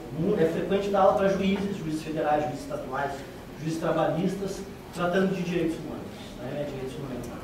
Então, são vários campos assim, que eu acabo experimentando essa experiência de ensino de direito, de direitos humanos. E eu, quando me convidaram, o Fernando mandou um e-mail com um artigo que já foi produzido sobre ensino de direitos humanos, né? Uh, ensino jurídico direitos humanos, né? Eu li o artigo, Renan, que alguns de vocês aqui certamente participaram da discussão, até da própria elaboração do artigo, e me fez pensar algumas coisas. Eu acho que eu, eu forneceria, eu quero fornecer nesses minutos que eu tenho, uma, uma perspectiva, não uma perspectiva, um enfoque diferente do que vocês fizeram, para a gente poder dialogar e pegar os casos de gênero e sexualidade que o Daniel e a Helena trouxeram para concretizar esse enfoque. É isso que eu vou propor. Tá? Então, eu, fiquei, eu, eu separei basicamente três uh, perguntas, ou três espaços. O primeiro espaço seria o seguinte: quem são, quando a gente fala ensino do direito, de direito, direitos humanos, agora eu vou pensar em faculdades, tá? Ambientes como esse aqui, que é uma faculdade, uma universidade. Não estou pensando nos ativistas, não estou pensando nos juízes, nos advogados, estou pensando em faculdades. Não estou pensando nas promotoras legais populares, não estou pensando nesses, nesses grupos, estou pensando nas faculdades. Então, quem são esses que estão envolvidos nas nossas faculdades no Brasil, aqui, o professor Daniel, que tem uma experiência francesa, europeia, argentina, norte-americana, mas aqui, provavelmente no Brasil, né? Quem são esses professores estudantes que trabalham nas faculdades de Direito e que, num momento ou outro, vão enfrentar, vamos chamar assim, a disciplina de direitos humanos e direitos fundamentais? Essa é a primeira questão que eu me coloco e vou tentar dar uma resposta aqui. A segunda é, em que ambiente se formam? os professores e esses estudantes nessas faculdades de direito nós temos. Estou pensando na minha experiência, mas como eu passo, viajo muito pelo Brasil, várias faculdades de direito, tentando assim generalizar um pouco. Então, que ambiente é esse? E onde esses professores e esses estudantes uh, estudam, trabalham com direitos humanos? E depois, por fim, o que que que mercado, que ambiente profissional que experiência profissional esses estudantes e professores uh, vão enfrentar quando saírem das faculdades. E em que medida isso que eles imaginam que vão enfrentar influencia a forma de ensinar direitos humanos e de tentar aprender direitos humanos pensando em ensino de direito e direitos humanos. Então vamos lá. Né? Bom, quem são esses professores e quem são esses estudantes? Professores e estudantes já nos colocam uma, uma distinção geracional. Né? Então, os professores, por exemplo, eu tenho 47 anos. Os professores mais ou menos da minha idade, um pouco mais novos, um pouco mais velhos que eu, né?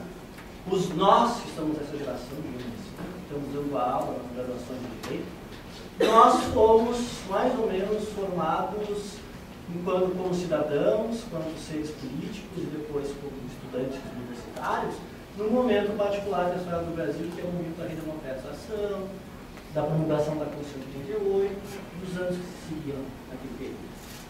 Nós, professores, então, alguns de nós, professores de Direitos Humanos, faculdades de Direito, alguns como acontece com outros grupos sociais, uh, estiveram direto, mais ou menos, mais proximamente ou mais distantemente, mas tiveram algum envolvimento, algum contato com a redemocratização. Vale dizer, com o movimento sindical que existia na época, que era forte pela redemocratização, com os setores das igrejas progressistas da teologia da libertação, por exemplo. No Brasil, particularmente com setores com a influência do MST, por exemplo. Com os setores do movimento pela saúde pública, movimento sanitarista, Sérgio Aroca, coisa e tal, tudo isso que deu no SUS. Né? Com é, muito pouco naquela época se via de qualquer coisa. Claro que existia movimento feminista, o movimento feminista é importante, mas não tinha o eco que tinham esses outros, esses outros atores que eu mencionei. Com todo respeito que me chamaram. Muito menos movimentos tratando de questões de orientação sexual, identidade sexual, praticamente isso não existia. Quando esses professores se formaram como cidadãos, como seres políticos, começaram a fazer as suas graduações. Claro que desse, desse grupo de gente, há bastante gente que se matricula, se sabe direito, alguns deles vão se tornar professores, a minoria que teve alguma participação mais próxima desses atores políticos. A maioria seguiu a vida como a vida ia levando, né? sem qualquer grau de participação, de consciência política mais elaborada e assim por diante.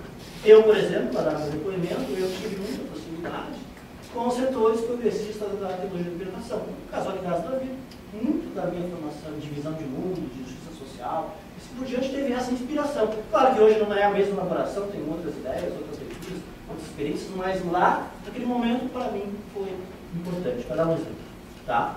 Bom, naquele momento, mesmo para esses, essas pessoas que estavam vendo isso, uh, questões então envolvendo gênero e sexualidade não existiam. Não eram faladas, ou até eram mal faladas. Por exemplo, grande parte da esquerda daquele momento, eu falo do sindicato de igreja, de partido e assim por diante, ainda tinha a ideia de que a homossexualidade não vício burguês. Grande parte. Não, e é sério, era muito sério para as pessoas naquela época. Hoje a gente ri, né? Mas era uma coisa muito séria. Né? Feminismo, assim por diante, no máximo era visto. Tá, eu estou generalizando, me perdoe, não quero ser injusto, mas fortemente era visto como uma questão secundária que ia ser resolvida, sei lá, com a democracia e, e a luta de classe, do socialismo, assim por diante como os vícios burgueses sexuais também, os sumidos. Bom, essas pessoas que hoje são professores nas faculdades de Direito, vão trabalhar com o ensino de Direito, vêm desse ambiente. O que se pode esperar? Bom, para trabalhar com o ensino de Direito e a tomar uma abordagem, vamos chamar assim, mais forte, mais séria, mais crítica, envolvendo gênero, sexualidade e assim por diante, foi necessário dos, dos poucos que trilharam esse caminho, um esforço pessoal muito grande de, primeiro, ter acesso a fontes que não estão disponíveis. Segundo, constituir uh, interlocutores para essas coisas. E até hoje, eu e o professor Daniel participamos de um grupo que reúne professores de vários países de tradição latina que querem discutir isso. Até hoje isso é difícil. Para europeus de tradição latina. A gente faz parte de, desse esforço conjunto, eu, o professor Daniel e outros professores aí. E somos poucos, né? somos poucos ainda hoje. Então vejam o, o, o, momento. Bom, os estudantes de hoje com os quais a gente chega nas faculdades, e mais, particularmente faculdades privadas, porque é grande maioria, mais de 85% do público estudantil, universitário em geral, no direito em particular, está nas faculdades privadas. Não está nas faculdades públicas. Mas nas faculdades públicas talvez também não seja tão diferente quanto, quanto se imagina a situação das faculdades privadas. Vale dizer, a maioria do pessoal com quem a gente trabalha são pessoas muito jovens, isso aí é muito natural, isso não é demérito para ninguém. Né? Mas mais do que pessoas muito jovens, em geral, generalizando, me perdoe, uh, graças a uma grande apatia, para não dizer despolitização, quando não dizer um atavismo autoritário da nossa cultura, assim, cada vez mais a flor da pele. Então, esse é o ambiente dos nossos estudantes. Há exceções, infelizmente, mas em geral é um ambiente que um professor que vai trabalhar com direitos humanos em sala de aula hoje se Né? E não é o ambiente mais uh, receptivo, mais fácil e mais convidativo para tratar essas questões. Ao contrário. Né? Bem ao contrário. Bom, é, soma-se a isso agora no, no, nos últimos 10 anos, basicamente, né? uma emergência das questões das chamadas políticas de identidade. Né? Uh, vários grupos identitários que vêm à tona e buscam o reconhecimento dos seus direitos assim por diante, sem entrar no mérito disso, isso é um fato político. Que pode ser, a gente pode tratar de uma forma mais simpática, mais antipática, mais universalista, mais particularista, mais uh, romano-germânica no sentido francês, generalista, mais norte-americana, inglesa, no sentido uh, por grupo mesmo. Mas é isso que tem. Isso cria uma, uma grande dificuldade para as pessoas, porque as pessoas muitas vezes têm, têm dúvidas sérias de como lidar com as políticas de identidade e as demandas de reconhecimento. Até onde suportar a diferença do outro? Até onde a diferença é aceitável?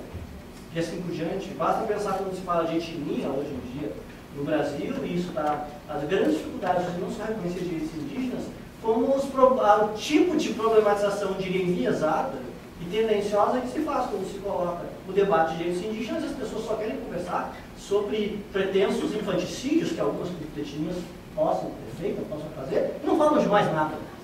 Só falam disso. Né? Ou seja, já, a questão já se coloca de uma forma totalmente enviesada. Esse é o quadro, uh, para o bem e para o mal, né? que tanto professores quanto estudantes de graduação e mestrado, muito diferente, porque a maioria dos estudantes que vão fazer mestrado em direitos humanos são de dois grupos. Ou são ativistas, que é ótimo, bom, no bom sentido, porque trazem um, um vigor, um ímpeto e uma experiência de vida valiosíssimas. Que necessariamente não significa uma, um nível de reflexão teórica, e nem precisa ter ali, que vão começar, vão mestrado para isso.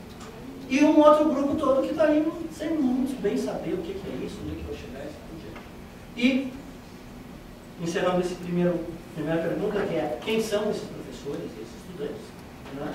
É, claro, direitos humanos é um tema uh, multifacetado, é muito político, é muito histórico e, é, e também é técnico, quando a gente trabalha na faculdade de Direito. É técnico por quê? Porque existem leis dentro da lei, independente da discussão política. Existem, como o professor Daniel trouxe, decisões dos tribunais, de jurisprudência. Existem debates uh, teóricos, conceituais, que, que, são bem específicos, assim, são muito técnicos. Então, a gente que trabalha com ensino de direitos e direitos humanos se depara tanto com o dado político, que é saudável e inescapável, quanto com dado propriamente técnico da questão. Nós, na Faculdade de Direito, temos especial tempo explicativo. Né? E isso é o nosso papel. papel. Bom, segunda pergunta. É, que ambiente é esse? Os professores de direito que hoje trabalham nas faculdades com essas disciplinas, via de regra, não foram minimamente nas suas graduações preparados para isso. Porque os ambientes foram formados, tradicionalmente, tinham uma grande ênfase no direito privado e, diga-se de passagem, num direito privado tradicional e acrítico. Não o direito privado provocador, Daniel Torres, mas um direito privado acrítico, tradicional, para confirmar as coisas, para conservar as coisas, não para mudar. Né? E esses professores também, ah, quando nas faculdades eles eram estudantes, lhes era ensinado direito constitucional, não era ensinado direito. Era tido que a Constituição era uma espécie de um acordo político, que tinha pouca, quando não nenhuma força por norma jurídica, por direito, mas um acordo político que possibilitava que as outras leis fossem simplificando muito, né? Era mais ou menos por aí. Tanto que muitos professores que iam ensinar direito constitucional Dizer o direito constitucional é o direito político, né? é o direito do Estado, não é o direito das pessoas no dia a dia, na vida delas. É o direito de como as instituições políticas trabalham entre si, a separação de poderes, assim por diante.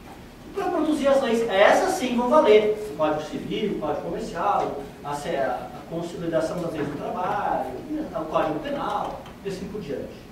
Isso tinha uma. Isso transmitiu para gerações e gerações, inclusive desses professores estão agora, são a ideia de que, e que é quase que, uh, que infecta praticamente as pessoas sem elas perceberem, de que existe um verdadeiro direito, o técnico, o que é sério, que é o direito penal, o direito civil, o direito comercial, Direito administrativo também, mas aí já começa a dar, às vezes, uma fraquejada, né? Mas o direito penal, o direito civil, o direito processual, esse sim é o direito. E tem o, o resto, assim, que, bom, que tem, que tem que dizer o que veio, tem que provar que pode alguma coisa, tem que provar que é sério, que é o direito constitucional, né? basicamente. Que ficava muito mais como uma questão quase de história política, de instituições políticas do que como direito. Né? Bom, nesse contexto, vejam, é, vem a redemocratização. Eu falei, essa geração de professores, que são professores hoje, que eu participo, uh, estavam na faculdade na redemocratização. E houve influxos, assim, do artigo que foi produzido aqui, publicado por você sobre o ensino de direito e direitos humanos, falava, ah, tinha uma hipótese no artigo de vocês, para quem fez o artigo sabe, para quem não fez eu estou contando agora. Uma das hipóteses é a seguinte, é que, bom, ah, no Rio Grande do Sul dizem que existe uma jurisprudência mais avançada, mais crítica, mais... E o Rio Grande do Sul que gosta, não sei se vocês são gaúchos, mas os gaúchos em geral gostam de se achar mais progressistas, mais avançados, que o Tribunal do Rio Grande do Sul é, uma, avança no direito consumidor, avança no direito da adolescência. Não sei se no Rio tem essas coisas gaúchas, mas dizem que é progressista, então está escrito no artigo de vocês o seguinte, olha, vamos ver, vamos tentar descobrir o que, que tem, qual é, se tem alguma relação desse dito progressismo tribunais gaúchos, né, com o ensino. Né. Aqui teve um movimento naquela época de juízes, basicamente, chamado Jeito Alternativo, que ficou muito famoso, vocês têm ouvido falar, que teve pouca incidência acadêmica, eu era estudante naquela época. Eu me interessava por isso naquela época, eu vinha dessa tradição. Né? Mas teve, teve a sua importância isso, mas que acabou, quando a Constituição de 88 veio, começou, a democracia começou a ser levada mais a sério, também acabou perdendo um pouco a sua função. Porque aquela ideia de direito alternativo, ou de uso alternativo do direito, era uma ideia, bom, nós temos um direito à ditadura e nós temos que lidar com o direito da ditadura para tentar ser justos. É difícil isso, temos que fazer um uso alternativo desse direito. Nós temos que invocar, seja lá de onde for, um direito alternativo a esse direito que a ditadura promulgou da Constituição de 67, de 69 e assim por diante. Né? Bom, mas isso, bem dizer, ficou lá naquele período, não influenciou muito e hoje, professores de direito, Ninguém mais fala disso. Até porque não eram necessárias, as questões hoje são outras. Sem nenhum demérito ao esforço e a coragem daqueles juízes daquela época que tomaram aquelas atitudes. Seja dito, eu acho que foram pessoas não só sérias e honestas, como corajosas. Naquela época não era como hoje tomar essas atitudes. Né? Bom, ah, esse, é, foi, esse foi o contexto, o ambiente onde se formavam os professores. Bom, é, e hoje, continuando esse, esse contexto, Hoje acontece, bom, temos a Constituição de 38, já tenho 20 quantos? 27 anos? Né? 27, né? 27 anos. Dizem que as pessoas vão fazer direito porque são péssimas em matemática. Eu tenho 27 anos, né?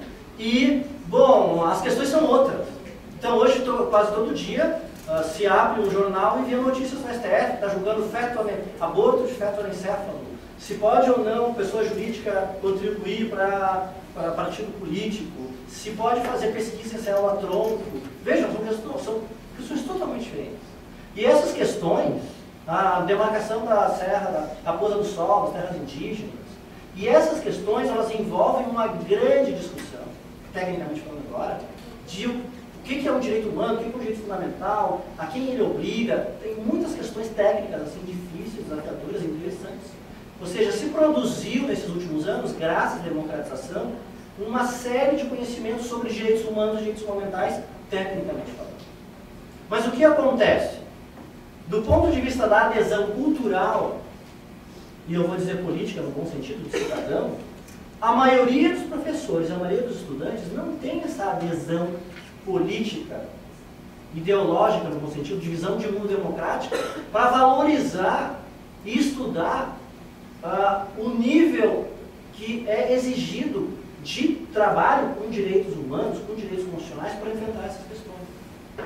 Então, ainda a tendência da, da maioria dos professores dos estudantes, isso não é um problema, um defeito dos professores de direito, nem um defeito, meu ponto de vista, nem um defeito dos estudantes de direito. É uma característica da sociedade brasileira. E nós não poderíamos esperar que os professores de direito e os professores estudantes de direito magicamente tivessem diferentes dessa sociedade onde nasceram, viveram vivem se formar. Né? O que não nos exime de responsabilidade, não estou dizendo isso. Mas eu estou tentando descrever o quadro? Bom, então existe uma, de fato, existe uma produção teórica, se vocês pegarem os livros sobre direitos humanos, direitos fundamentais que tem hoje, para usar a data de 5 anos estava brincando atrás, né? tem muito mais coisa do que tinha 5 anos atrás publicado. Mas uma coisa é publicada, outra coisa é as pessoas valorizarem, darem a devida importância dominarem aquilo. O que não significa uh, exclusivamente ter o acúmulo teórico ali, depositado, escrito, organizado num livro, numa enciclopédia. Mas também dar importância para aquilo e não achar que o mais importante é estudar o, o, o crime de furto ou de roubo no Código Penal do que estudar essas coisas. Como essa é a mentalidade.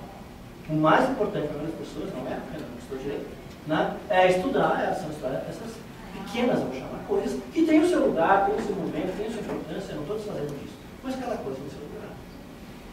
Bom, terceira e última pergunta. O que, que espera que mundo do trabalho profissional, que etos profissional espera esse, está à espera desses estudantes formados por esses professores? Né? Bom, é, um mundo cada vez mais, nós já falamos da, não só da apatia política, como das tendências atávicas conservadoras cada vez mais uh, estridentes, assim, à tona, né? É, de uma mercantilização e de uma proletarização violenta da advocacia. A maioria dos, a maioria dos advogados é proletário mesmo, quase nunca. E eu falo isso com respeito, é um problema central. Porque as pessoas gastam dinheiro para estudar direito, gastam a vida dela acham que vão ter algum futuro. E é muito difícil. Não sei se é tão difícil quanto jogador de futebol. Talvez 1% se dá bem, 99,9% se dá muito mal. Mas é muito difícil. E eu falo isso com respeito, não é muito respeito. É uma realidade dura. Né? Pouquíssimo se faz um concurso para juiz, 8 mil pessoas no Brasil inteiro se inscrevem e passam 12. 12 conseguem tirar nota mínima. Né? É a realidade do meu tribunal. Porque as provas são impossíveis, as provas não são impossíveis. Não, não, são, não são fáceis, não tem que ser fáceis, mas não são nada impossíveis. Tanto que pessoas normais, entre aqueles dois, tem pessoas muito normais para se conhecer, não é fácil, não são gêmeos, não são gêmeos. Né? Mas essa é a realidade. E a, a matéria de direitos humanos, no ensino jurídico no Brasil, ela acabou no bom e no mau sentido, se institucionalizando. Então, agora tem resoluções dos órgãos que cuidam dos concursos dizendo tem que ter o um ponto de direitos humanos no concurso para juiz, tem que ter o um ponto de direitos humanos no concurso do promotor, tem que ter o um ponto de direitos humanos na para do AB. Isso é bom? A princípio, que bom, acho que, por que não? Tem que ter mesmo. Agora, qual é o efeito nesse contexto que eu estou rascunhando aqui? E aqui são só impressões de um profissional, não é fiz uma pesquisa Tá? Nesse contexto que eu estou rascunhando aqui, qual é o efeito de colocar dentro desse contexto isso como matéria de concurso, de prova da AB? Bom, vira como, vira como qualquer outra coisa. É tratado como qualquer outra coisa. E claro, com uma pouca adesão uh, política, cidadã, ideológica, no bom sentido, que a nossa cultura dá para essas coisas. Seria surpreendente se fosse Bom, então as pessoas compram livros com gabaritos, com macetes, com coisas de direitos humanos, com qualquer outra coisa. Ah, então é, é uma pergunta. Então é uma banalização uh, perversa e prejudicial à ideia, ao ensino de direitos humanos? E... Não, eu acho que não é isso, não é por aí. Isso não é. O problema não é que não é criar uma banalização perversa. Não. A questão é outra. A questão é todo o contexto que gera esse tratamento. Quando a gente pega as questões, eu vou terminando porque eu acho que não mudando. Quando a gente pega as questões de gênero e sexualidade, isso aí fica mais forte, do meu ponto de vista. Por quê? Porque essas questões, deixa eu anotei aqui umas coisas que eu não quero esquecer. Essas questões de gênero e sexualidade agregam mais elementos de difícil enfrentamento desses meninos. Então, a nossa cultura, sei lá, patriarcal, escravocrata, machismo, é, tudo isso, a, a, assim, o reconhecimento das questões evangélicas, no mau sentido de, de projetos de poder evangélicos, que agora no Rio Grande do Sul tem, acho que uma deputada, um deputado, não sei, disseram, me deram o nome, eu esqueci, não interessa agora, que Bom, não só uh, depois da, da, da, derrota do projeto de lei que queria proibir sacrifícios uh, com animais em cultos afro, né? agora bom, o novo projeto vai inserir criacionismo no ensino público do Estado. Né? Não, é, é incrível assim como a escalada que a gente vai, vai, vai, vai enfrentando atualmente. Ou seja, oi? É, a escalada de dificuldades. Né? É. Bom, então vejam só, são ingredientes a mais que se acrescentam a esse cenário que eu estou aqui tentando rascunhar. Né? E a legislação não é culpada disso. E como disse o professor Daniel, é, ela exige que a gente trabalhe de uma forma crítica, inteligente, porque ela também, no bom sentido, não é uma fórmula mágica para resolver as coisas. Por exemplo, o fato de em toda a Constituição brasileira, que é uma Constituição democrática, que é uma Constituição que tem abertura inequivocamente para direitos sexuais, reprodutivos e assim por diante, não escrever em nenhuma letra dos seus duzentos e tantos artigos a palavra gênero, já diz alguma coisa. Não está escrito em nenhum lugar da Constituição do gênero. Na Convenção Internacional sobre a, toda forma de discriminação contra a mulher, que é um documento canônico nessa área, também não se escreve a palavra gênero, a não ser num artigo, artigo 5 que diz que, deve-se tomar as medidas para combater os estereótipos de gênero. Só ali.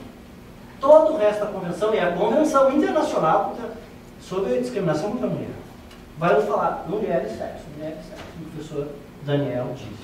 Na Lei Maria da Penha, só se escreve gênero.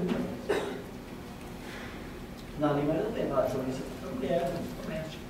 E eu não estou dizendo isso para dizer o problema é a lei, vamos mudar a lei, vai mudar tudo. Não é isso, isso é mágica, não, é, não tem mágica.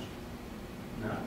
Bom, uh, e, bom, de um lado. De outro lado, se a gente pega, eu falei de uma convenção internacional, falei da, do, da Constituição Federal, falei de uma lei federal, que é a Lei Maria da Penha para mostrar aquilo que alguns poderiam chamar como a ausência do gênero, seja em que sentido for. Se, paradoxalmente, nos últimos anos, nos últimos 15 anos, uma, não estava como a gente estava falando, né? nos últimos 15 anos, se nós pegarmos as leis estaduais e municipais, é o oposto, é incrível. Isso merece estudo de reflexão. É, há uma proliferação das categorias nas leis de, envolvendo gênero e sexualidade.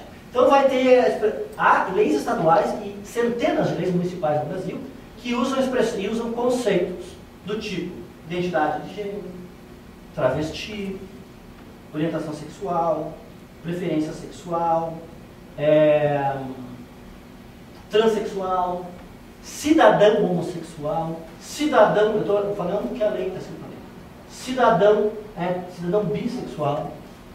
Vejam, Uh, é apropriado ou não é apropriado as leis serem tão uh, específicas e particularistas com relação a gênero e sexualidade?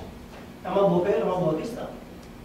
Agora, independentemente da resposta positiva ou negativa que nós dermos para essa pergunta, efetivamente, quando as categorias são acionadas, a gente tem que minimamente compreendê-las. E é o que também falta. Né? Falta isso porque, uh, seja nas academias de direito, né, se negligencia isso por todos os quadros da outras leis, seja porque coisas, e aí eu falei da confluência dessas coisas na minha vida, das ciências sociais, toda conversa de mim com alguém do direito, com o pessoal das ciências sociais, seja porque essa conversa tem que ser mais, não só mais feita, mas ser mais frutífera, ser mais uma conversa de duas mãos porque eu vejo um monte de estudantes de direito no, na graduação no mestrado, e eu, como professor, tento, uh, tento mostrar um, outras alternativas para as pessoas, e o seguinte, não, não vou estudar direito, eu vou para a antropologia. Eu vou para a sociologia, que é mais divertido, que é mais legal, que é mais bacana, que é mais... Sei não sei se é, mas eu fiz, eu, fiz o caminho contrário, então eu sou suspeito. Né? Eu saí das ciências sociais para direito. Né? Digo, não, nós temos que juridicamente dialogar, porque o mundo é interdisciplinar, o mundo não é disciplinar. Né? Mas nós temos que dar consistência, começar a dar consciência jurídica para as categorias. E aquilo, aquele nosso grupo, que eu falei para vocês, professores de vários países, latinos, tradução latina, o professor Daniel Cortena, que eu participo, que buscam, bom, vamos buscar qual é o melhor conceito jurídico, né? Para nós, no mundo latino, para usar na lei, usar na jurisprudência, resolver os casos que necessariamente não são os melhores conceitos que o mundo anglo-saxão usa na política e no direito. O professor Daniel colocou, eles falam de gênero muito no direito deles. Nós temos que, se nós não utilizar gênero, podemos utilizar em que sentido? Não é o mesmo. O que é sexualidade, o que é identidade de gênero no Brasil, no sul da Itália, na Argentina, o que é nos Estados Unidos, ou na, na Inglaterra, na Suécia, sei lá, entende? Bom, então a gente tem que fazer esse trabalho. Bom, quando isso não é feito, quando isso não é feito, não só fica faltando algumas coisas, e eu vou terminando agora, as coisas ficam muito perigosas. Tá? O perigo do quê? O perigo do, o perigo do zelo é que é em armadilhas. Armadilhas que, com boas intenções, uh, cedem diante das tentações da tradição, vou chamar assim, do autoritarismo, do controle, que são tão fortes na nossa cultura nas nossas práticas, para tentar fazer uma conciliação que é uma conciliação possível, vamos dizer, quase um pacto falso com, essas tendências antidemocráticas. Então, usar uh, ideias familistas ou uma afetividade, ou coisa do gênero assim, é uma tentativa, que eu diria, bem intencionada, até do ponto de vista conceitual, mas terrível dos seus resultados, quando uh, aplicada. E é isso que acaba aparecendo. Por que, que isso aparece? Fora os aspectos marqueteiros, aí nesse mérito, fora a questão do marketing, né? É, isso aparece porque isso ecoa. Por melhor que seja feito o marketing, tem que ecoar, né? Senão não. Né? Então, fora o marketing, ecoa, ecoa, ecoa nessa mentalidade. Porque é nesse quadro que os professores, os estudantes de direito, que com direitos humanos, vivem, são formados, respiram, e depois é isso que vai ser uh, desafiado institucionalmente pelo mercado, pelas profissões, pelas carreiras, e assim por diante. Bom, eu agradeço então, a minha, minha tentativa foi refletir a partir da minha experiência, daquilo que eu vejo acontecendo, Ensino de direito, direitos humanos, pegando os casos de gênero e sexualidade. É muito importante que, essa iniciativa desse estudo que vocês estão fazendo. E muito obrigado pelo convite.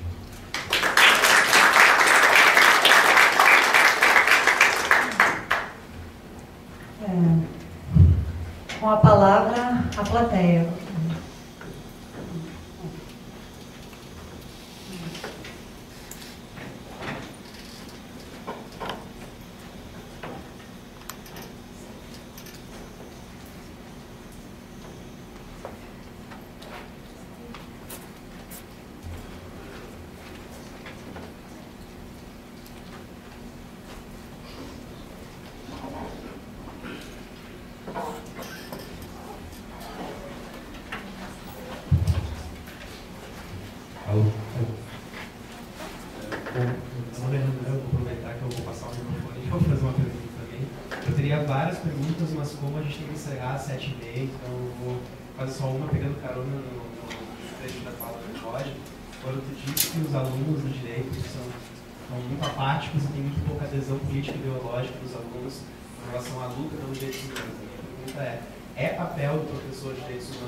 Enfrentar essa apatia e estimular que haja uma adesão ideológica aos direitos humanos, ou o papel do professor restringe-se apenas ao ensino técnico e a uma esperança vaga de que apenas o ensino técnico vai gerar algum tipo de adesão a essa luta?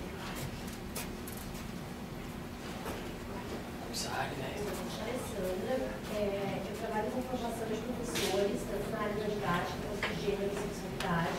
E vindo da área da didática, minha pergunta não poderia ser diferente é, como, né, como que a gente faz, como que se ensina gênero e sexualidade nos direitos humanos. Então, eu queria uma coisa assim. Obrigada.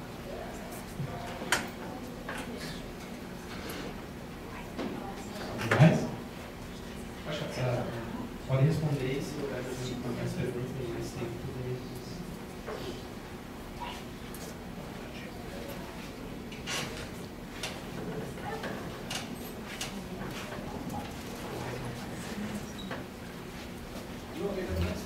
uma observação em relação ao que falou o professor Roger, para você vocês veem a que ponto, não só no Brasil, estou falando da Europa atual, a que ponto a maneira que se ensina os direitos, que se interpreta a lei na vida dos humanos, atinge a vida das pessoas.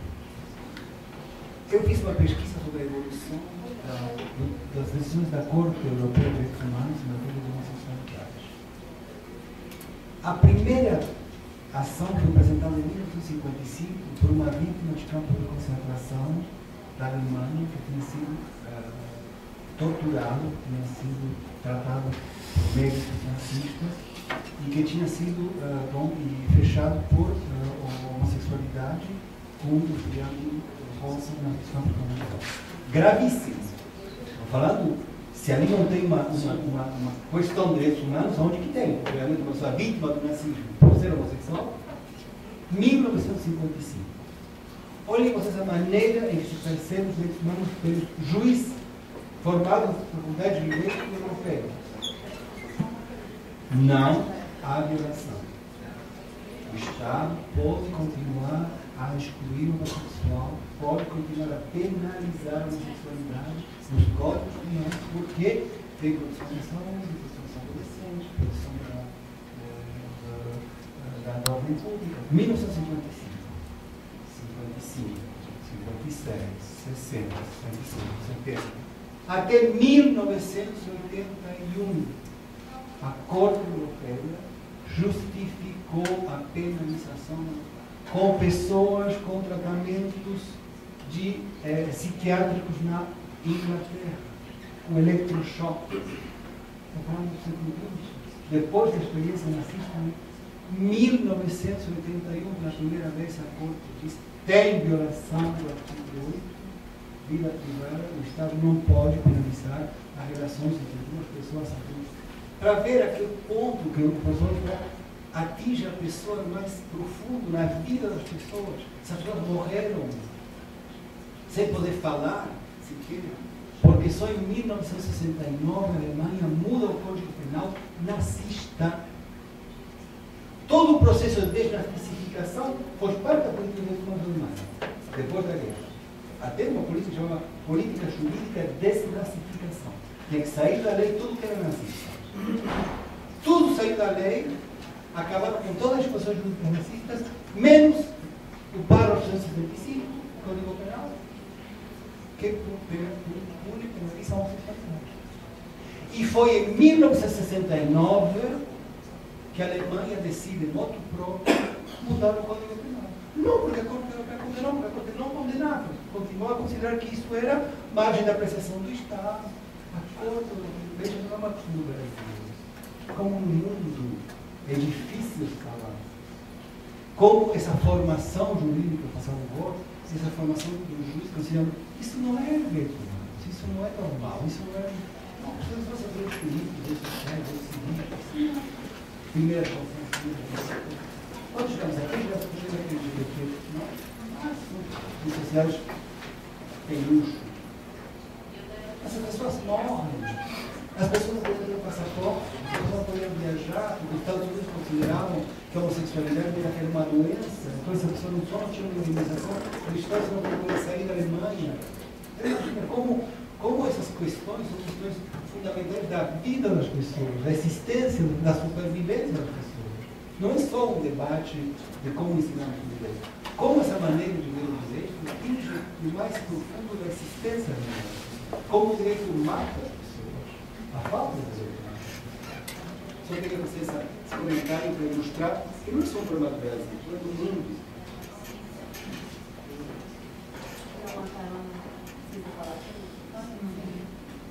É, sobre a matéria que o Daniel falou, que eu acho que é um pouco dar uma explica, Alessandra, para a gente pensar, porque é, eu acho que, primeiro, acho que tem que fazer sentido, né?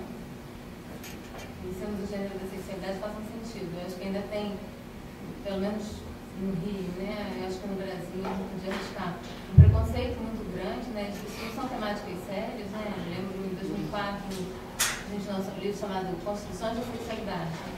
E me lembro, eu conto isso como uma anedota, né? Assim, que ilustra um pouco o campo. eu botei um convite nos caninhos de cada professor do instituto. E aí eu estava na secretaria o professor não viu. Ele pegou o, o convite e falou, quem publica um negócio desses? Eu estava atrás e ele emendou lá para tentar, né? Mas, é, assim, eu acho que tem um pouco uma banalização, né? Acho que é um tema que todo mundo sabe um pouco, não tem nada de, de, de específico, de científico, ou de, na produção de um saber, né? Eu acho que tem um pouco isso. E como é que faz como é que a gente faz com que, esse, que os conceitos, né, que são muitos, né, muitos, muitos teóricos interessantes, então, como é que eles ecoem, né, que eu acho que só faz sentido se for através disso que o Daniel falou, né, isso tem que fazer sentido na vida das pessoas, né, a gente precisa saber que as pessoas morrem por violação dos direitos humanos nesse campo, né, então, as pessoas precisam se sentir afetadas, eu acho, por isso, né, então, Vira e mexe aparece no jornal que alguém perdeu o pedaço da orelha, foi espancado, peguei, porque era travesti, morreu de forma super violenta, levou 17 facadas. Eu acho que assim, talvez a gente consiga ensinar gênero e sexualidade nas pesquisas dos direitos humanos. Né? É claro que se tem discussão de garantia de direitos, não é só de violação, mas muitas vezes acho que pode ser um artifício, né? Pra, eu acho que tem a ver também com essa questão né, por trás, assim, eu acho que se a gente se apaixona por essa discussão, né, a gente acaba convidando também os alunos para que participem desse debate, né? Então, eu acho, de novo, no plano dos afetos, né? Que as pessoas se sintam afetadas, as pessoas se sintam que aquilo faz parte da carne, né? Assim, eu acho que a gente não vai dar lá uma aula só para expor o conteúdo e acabou-se, né? Não acredito muito nisso vivencie né, essa história. Por isso que eu acho que às vezes as situações elas são interessantes para a gente pensar, né?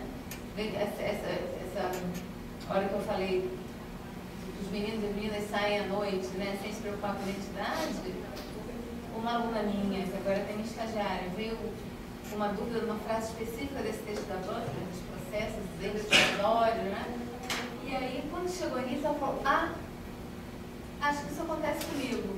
Né? Então, assim, tem, tem alguma coisa aí que faz eco. Então vamos pensar no que, que esse texto te ajuda a avançar nisso que você está pensando, você está experimentando, né? Mas só por aí que vai, né? Senão eles vão sair repetindo os conceitos, isso não. Tá bom. Né? Mas não vão conseguir nem pensar sobre eles a partir deles. Né? Talvez eu precise formular a pergunta. São questões práticas. Como é que nós sensibilizamos as pessoas? Talvez eu deva reformular outra pergunta. Como é que se sensibiliza? para essa construção que o Roger falou. Né?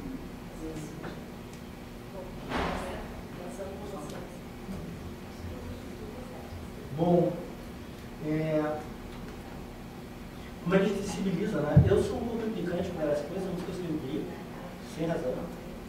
É quando as pessoas, como nós, como eu, como outras tantas pessoas, quando a gente trabalha, fala de educação de direitos humanos, seja como educador formalmente falando, seja como cidadão na vida, é, sensibilização. Para as pessoas, a gente sensibilizar é uma coisa suficiente.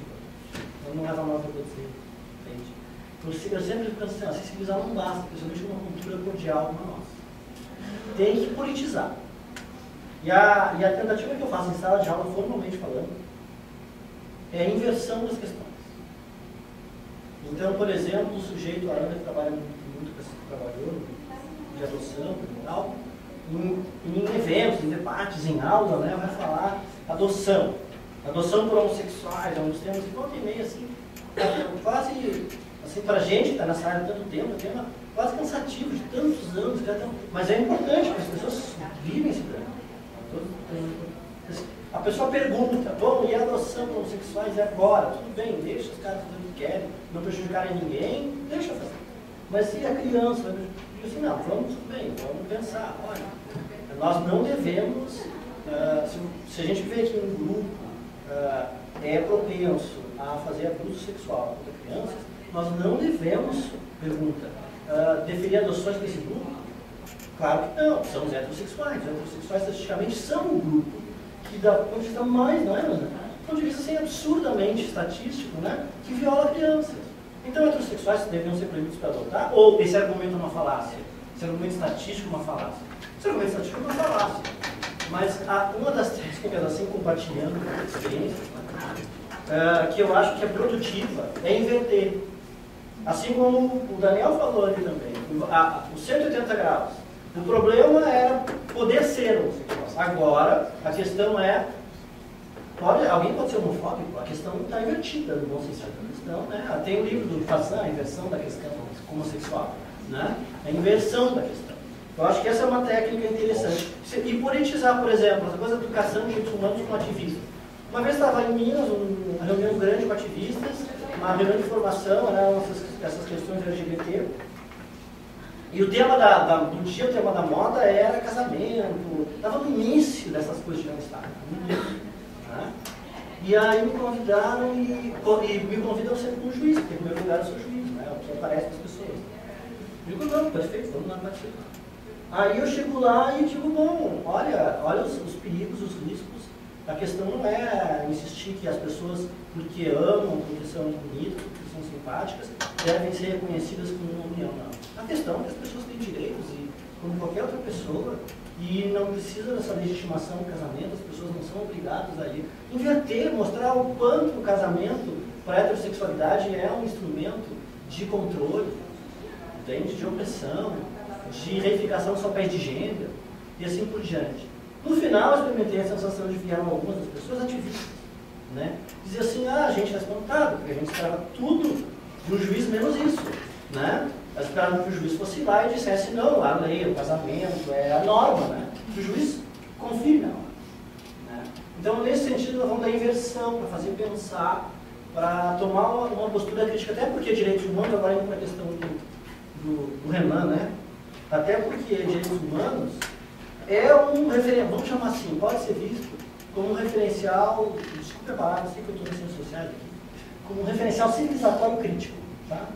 é para criticar um certo modo de vida, é um paradigma crítico. Né?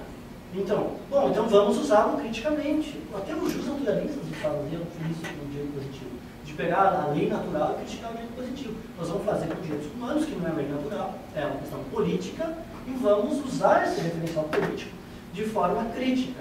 Qual é o papel do professor de direitos humanos nesse sentido? Bom, parece que é por aí. A questão é que o professor de direitos humanos Assim como o sujeito do direito abstrato do Código Francês não é uma abstração. O professor de direitos humanos é um sujeito concreto. E ele, então, nesse quadro que eu traçar ali, se é que ele tem pertinência, é uma pessoa que, na maior parte das vezes, vem com toda essa bagagem, vou chamar assim, desfavorável a enxergar direitos humanos como um referencial crítico. Mas se ele vai tentar, e aqui eu não estou falando de maldade ou desonestidade, mas é o processo político-cultural, inverter, distorcer aquilo para não fazer crítica. Então vai ter gente que a gente vê absurdamente invocando direitos humanos, hoje, direitos fundamentais, para se dizer protegido, vítima que é da, de uma cristianofobia ou de uma heterofobia. A gente vê isso, né? Falando sério, a gente vê isso. Mas que isso, né? Não, a questão não é essa. Mas como é que chega essa formulação? É porque esse professor, seja o professor formalmente falando de direitos humanos ou não. E, felizmente, eu acho que poucos professores de direitos humanos fazem isso, mas muitas pessoas são tentadas por esse contexto todo. Né? É, acabam expressando, se não formulações tão graves, como eu falei, de heterofobia, mas coisas que vão nessa lógica, entende? Coisas que vão nessa lógica. A coisa mais comum é usar as crianças como pretextos para anular direitos humanos. Né? A Ana é especialista nisso, né? Como a criança, a família, sei lá o que, é invocada. Então se distorce tudo. Aquilo que é para proteger uma criança que é vítima de homofobia na família, que é espancada na família, que é mandada embora, que é chantageada e tudo mais, vira, ao contrário, vira a prisão e a legitimação do tratamento psiquiátrico à força para uma criança na família. É, é um negócio absurdo. E acontece. Né? Então, é esse o contexto. Então, a questão, como se politiza também, o professor de direitos humanos, ele não nasceu sabendo direitos humanos, nem teoricamente, e muito menos de vivência política. A questão é como se produz, que, só, que uma sociedade que tem pouca adesão, vamos chamar assim, ideia de direitos humanos, evidentemente vai produzir poucos professores, e não só professores, médicos, advogados, enfermeiros, é, prestadores de serviço de qualquer categoria. Né? Vai produzir poucos nessa perspectiva. Então, ah, mas então agora nós estamos numa sinuca? Não, não estamos numa sinuca. É, as duas coisas têm que ser feitas ao mesmo tempo. Né? Como é que se resolvem as questões de direito? Primeiro eu tenho que politizar para resolver as questões de direitos humanos, ou eu tenho que trabalhar com direitos humanos para politizar? Não, as duas coisas ao mesmo tempo não. É, uma, é um falso dilema, me parece. Então, assim, a minha, compartilhando contigo, minha prática que às vezes pedagogicamente, é que essa pedagogia que a gente usa, é provocações de invenção da questão. Ah, vamos ver a questão. E se o, se o branco está no lugar do preto, o preto está no lugar do branco, o hétero estiver no lugar do gay, o gay estiver no lugar do hétero, o índio estiver no lugar do europeu, seria a mesma pergunta? Ah, não seria. Bom, então pá, não sei. Lá, é uma tática. Temos que Pessoal, é... Meia questão. Queria fazer só uma. uma... Não precisa. Até para não perder tempo. Ah, Uh, doutora, eu, só, uma, uma, questão assim, ó, eu, eu concordo com o que o senhor falou, a questão assim, da, da adoção do casais homossexuais. Né? Uh, acho que a alegação de que haverá essa, essa questão aí da, da, da do abuso, aí cai por terra e é fora de cogitação, porque realmente os heterossexuais são, né, tem muito mais essa questão do que a minha, só a minha indagação, e a gente sempre tem um debate sobre isso, é com relação à criança no convívio diário, no dia a dia dela, em escola, com amigos, futebol. É, é se, se, há um estudo né, de como há a evolução dessa criança, o dia a dia dessa criança, como ela cresce. Ela cresce com, uh, com algum preconceito, uhum. ela sofre preconceito, como vai ser a vida dela. Né? Essa é a minha preocupação. Né? Eu, eu não tenho preocupação outras, né? com referência ao, ao, próprio casal, né? até porque a gente tem amigos também, né? homossexuais, ele é casado. Né? E muitos não, muitos não, não, não adotam, não adotam é, com, com, esse receio, com esse receio de não, não que ele vai ser o protagonista, né? mas que outros serão os protagonistas da desilusão até dessa, dessa, dessa criança adotada. Então é, é nesse ponto assim que eu tenho dúvidas, né? Dúvidas se, se isso vai dar certo ou não, né? Se isso, essas pessoas, a, como, como será a formação dessas pessoas né, no futuro. Tem mais Desculpe me estender. Não, não vou deixar. É, eu gostei muito da fala do professor Daniel e eu tenho uma pergunta relacionada também à fala da professora Ana Paula. É, quando o professor Daniel ele fala da questão da superação do sexo como identidade, eu gostaria de saber como ficaria isso, sendo que o próprio indivíduo transexual ele se enquadra dentro de uma heteronormatividade binária. E aí o meu questionamento é nesse sentido, como falar em, em superação do sexo como identidade, sendo que tem essa questão do transexual. Obrigada. Então, é, sobre a adoção, né, por pessoas do mesmo sexo, casados do mesmo sexo, nos Estados Unidos tem séries pesquisas dos anos 80 e 90 que são, não são feitas aqui, né, pelo menos que eu saiba, um, um jeito de pesquisar, tem perguntas de pesquisa que aqui no Brasil não tem, né, que é sobre o desenvolvimento das crianças e sobre é, se tem alguma diferença entre o cuidado por casais do mesmo sexo, casais de sexos diferentes e tal. O que essas pesquisas mostram é que você tem semelhança por gênero e não por sexo, né? não por orientação sexual. Então, que você tem a, a, nossa cultura é muito generificada e as mulheres ganham é, fogões e, bonecas para livrarem bebês desde sempre, né? Não caricatura, mas é um pouco isso que acontece, né? Então você tem uma, uma certa similaridade no cuidado das mulheres, das mães com as crianças, né? uma similaridade no cuidado dos pais, mas que você não tem nada que diferencie né, desse ponto de vista. Agora, claro, tem uma diferença social no olhar para essa família? Não tem dúvida nenhuma que tem. Agora, o que, que a gente vai fazer com isso, né? E como é que a gente pode ajudar as crianças a, a discutirem essas questões, né? Até porque, um pouco para banalizar de, propositalmente, né, no sentido da desconstrução, um pouco do que o Roger estava dizendo, as crianças vão sofrer preconceito porque elas são gordas, porque elas usam óculos, porque elas usam, usam aparelho, porque elas são chatas, porque elas são. Então, dizendo banalizar no sentido que essa é mais uma, uma fonte, digamos assim, de preconceito que elas vão sofrer como qualquer outra. Estou dizendo banalização nesse sentido, de desconstruir a importância ou a centralidade disso, né? Uma das, das minhas mestrandas que defendeu em 2013, a Rimena, ela vai entrevistar filhas de casais de mulheres, né, de diferentes gerações. E aí tem uma, uma, uma história que uma menina conta para ela, que é muito emblemática, eu acho disso, né? Conversando, quando na escola aparece essa questão, e aí alguém interpela essa menina e pergunta, mas você tem duas mães? Né? Um certo estranhamento em relação a isso. E aí a menina, já tem uns 9, 10 anos, pergunta para o amiguinho, né? Você gosta mais do seu pai ou da sua mãe? E aí fala, da minha mãe, claro. E ela falou, tá vendo? Eu tenho duas. Porque assim, um pouco anedótico no sentido de que, peraí, o que, que as crianças estão pensando sobre isso? Né?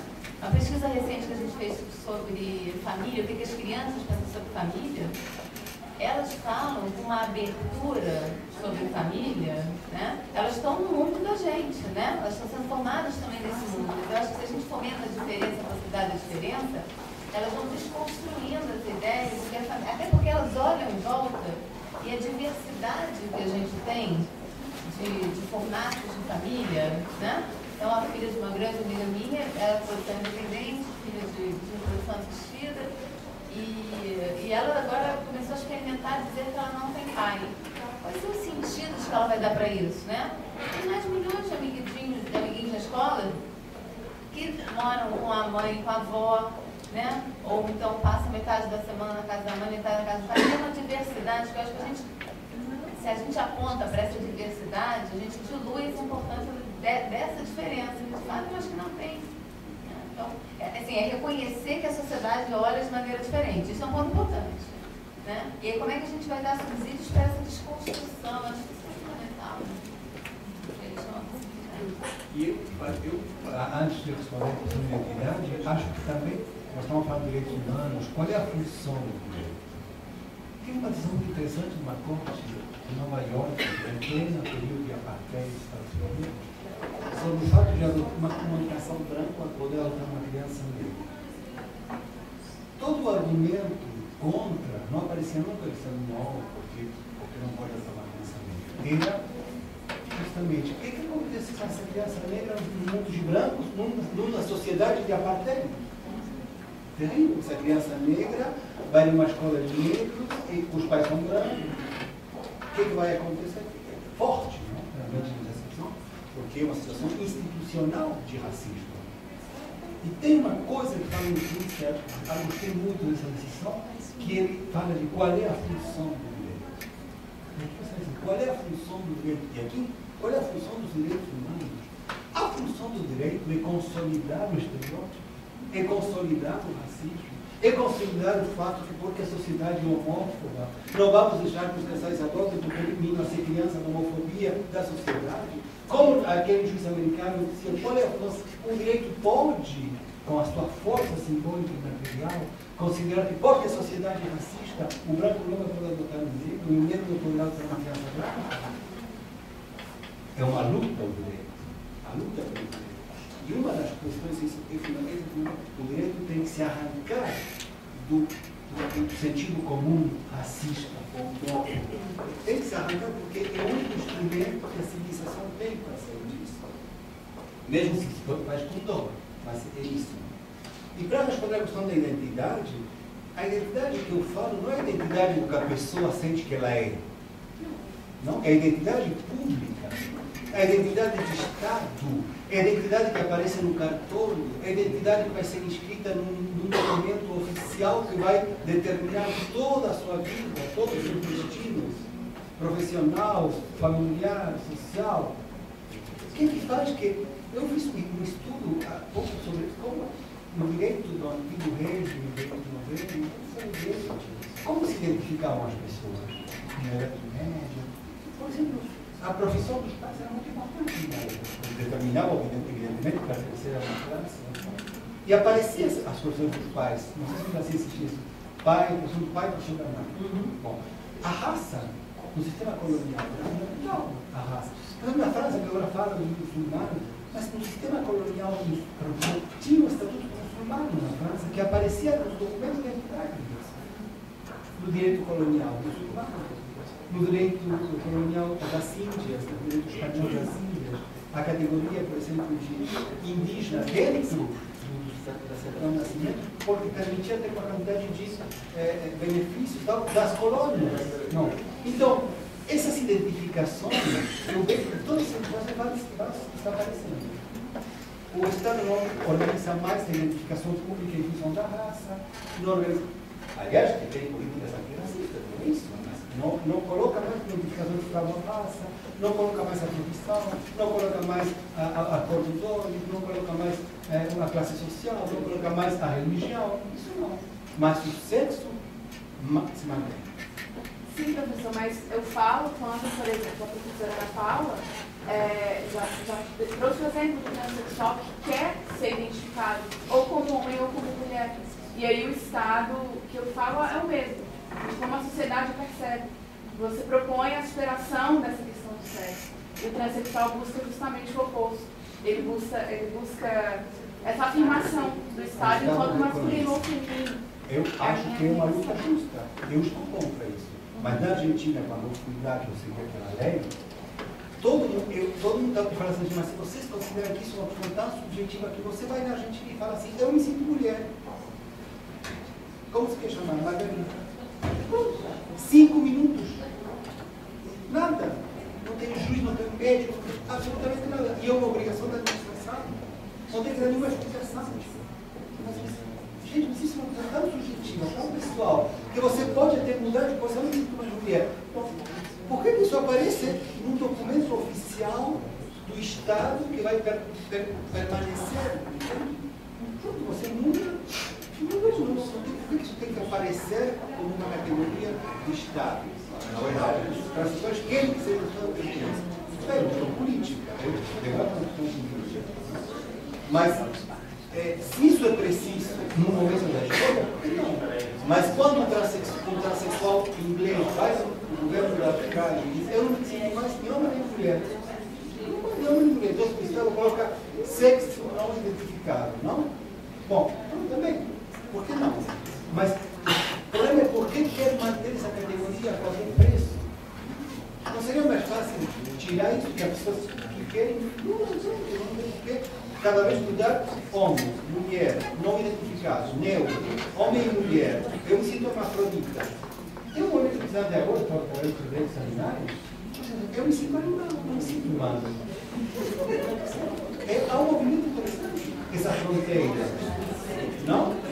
Eu sou um animal humano que não tem que ser considerado não humano. Essa identificação. Bom, por que a pessoa não pode sentir isso? Que ele não sente uma diferença com o cachorro dele, ele é igual com o cachorro dele. Mas o Estado vai colocar, não?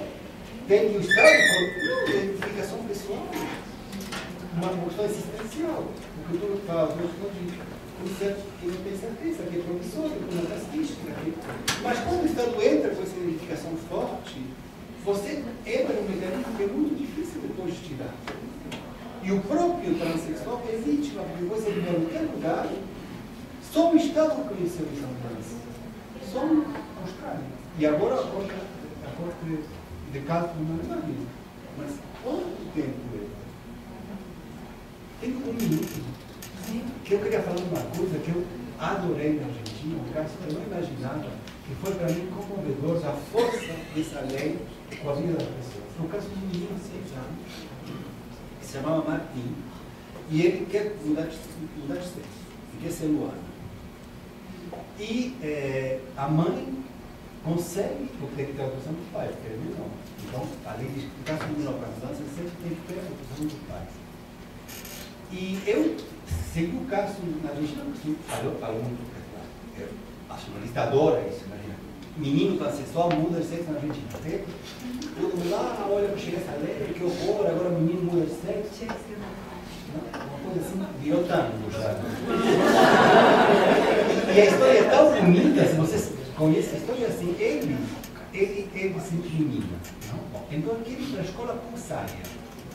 E a mãe diz que ele pode com saia na escola, mas a escola não deixa ele com saia. Não deixa. Porque ele menino não pode com saia. Os meninos não podem saia na escola. Não deixa com saia. Então, o que acontece nessa cabeça desse menino, Martim? Ele diz que ele quer ser menino e que ele quer que ele é excelente aluno ele começa a ter muitas dificuldades para estudar e ele não quer mais para a escola. Ele é um aluno brilhante. Não quer mais para a escola. Aí, quando a mãe percebe que ele tem um problema grave da escola, porque eu pensei, olha o problema fundamental da história. Eu queria saber o que a mãe achava como problemático. A mãe estava desesperada porque ele era bom aluno e não era mais bom aluno, não queria ir mais para a escola. Ele tinha medo de uma pessoa que seja analfabeta. Não, o drama de uma pessoa que não se não tem seis anos. É gravíssimo. E a mãe muito inteligente, muito aberta, muito amor de mãe, realmente, de, não importa o que os traz a solução para isso, é muda de e vamos lá no canto E tu que as coisas chamar, e vamos chamar Luana. E Luana. O pai ficou desesperado, a mãe falou assim, chega, vai se chamar Luana, muda todos os documentos, Luana, Luana, e ele volta para a escola como Luana. E sai, e como Luana, ele vai ter que admitir. E eu olhei todo o documento e ele vai lá. E eu, depois eu falei assim, se de lei, se essa lei, por que não tem operação, não tem telefone, ele quer amanhã mudar para latim, volta a ser latim. Isso é bom para a lei, não mudou para mim. Mas eu falei assim, para o amigo, olha, ele está orgulhoso. Se essa lei serve para que o menino não saia da escola, já eu quero melhor do que porque hoje você sai da escola e sua vida, você é um morto social. Acabou a sua vida. Então, olha como uma questão assim, que aparece com tão dramática, como como o de sexo, que é terrível, como uma lei permite essa situação, você como uma criança pode ir na escola. E todo mundo aceitou.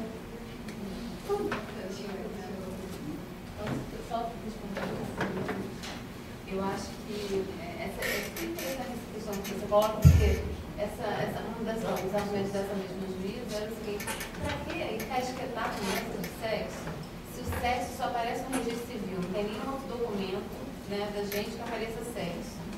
Não tem nenhum outro documento, mas não tem nenhuma ficha que não apareça sexo, né? Para comprar uma roupa na loja, para tudo tem sexo. Né? Então, o que eu acho que é interessante é a gente pensar, também acho, porque que sexo é uma categoria importante, que diferença faz isso na vida das pessoas. Agora, eu entendo que seja fundamental para algumas pessoas que têm a perspectiva de que nasceram no sexo errado, já ter um Estado, esse grande, que vai dar o reconhecimento, né? seja, como o Daniel falou antes, seja a justiça, seja a medicina, de qualquer maneira o Estado que vai dar, para essa pessoa é absolutamente fundamental. Agora, se a gente tira a importância disso na vida de todo mundo, isso deixa de ser uma questão para ela, provavelmente. Né? A questão é uma marcação, porque ela tem, ela tem que ter o reconhecimento de que ela mudou, né, de que esse outro sexo será reconhecido. Agora, acabou de ter o encontro da Associação Brasileira de Homens Transsexuais, e aí algumas pessoas reivindicando identidade não binária. Oi? Né? Se a gente está lutando contra o binarismo, não é para ter o não binário, é para o não binário não ser identidade, que é a mesma coisa que botar o quê na sopa de letrinhas, né? LGBT, TPI, que o queer foi exatamente para desmontar essa ideia de identidade. Eu acho que se a gente começa a, a esvaziar né, então, essa identidade né, através do sexo, gênero, a gente faz um mundo um pouco melhor. Né? Esse vai deixar essa preocupação. Por enquanto, como é uma preocupação, a gente então garante que as pessoas se identifiquem como que é.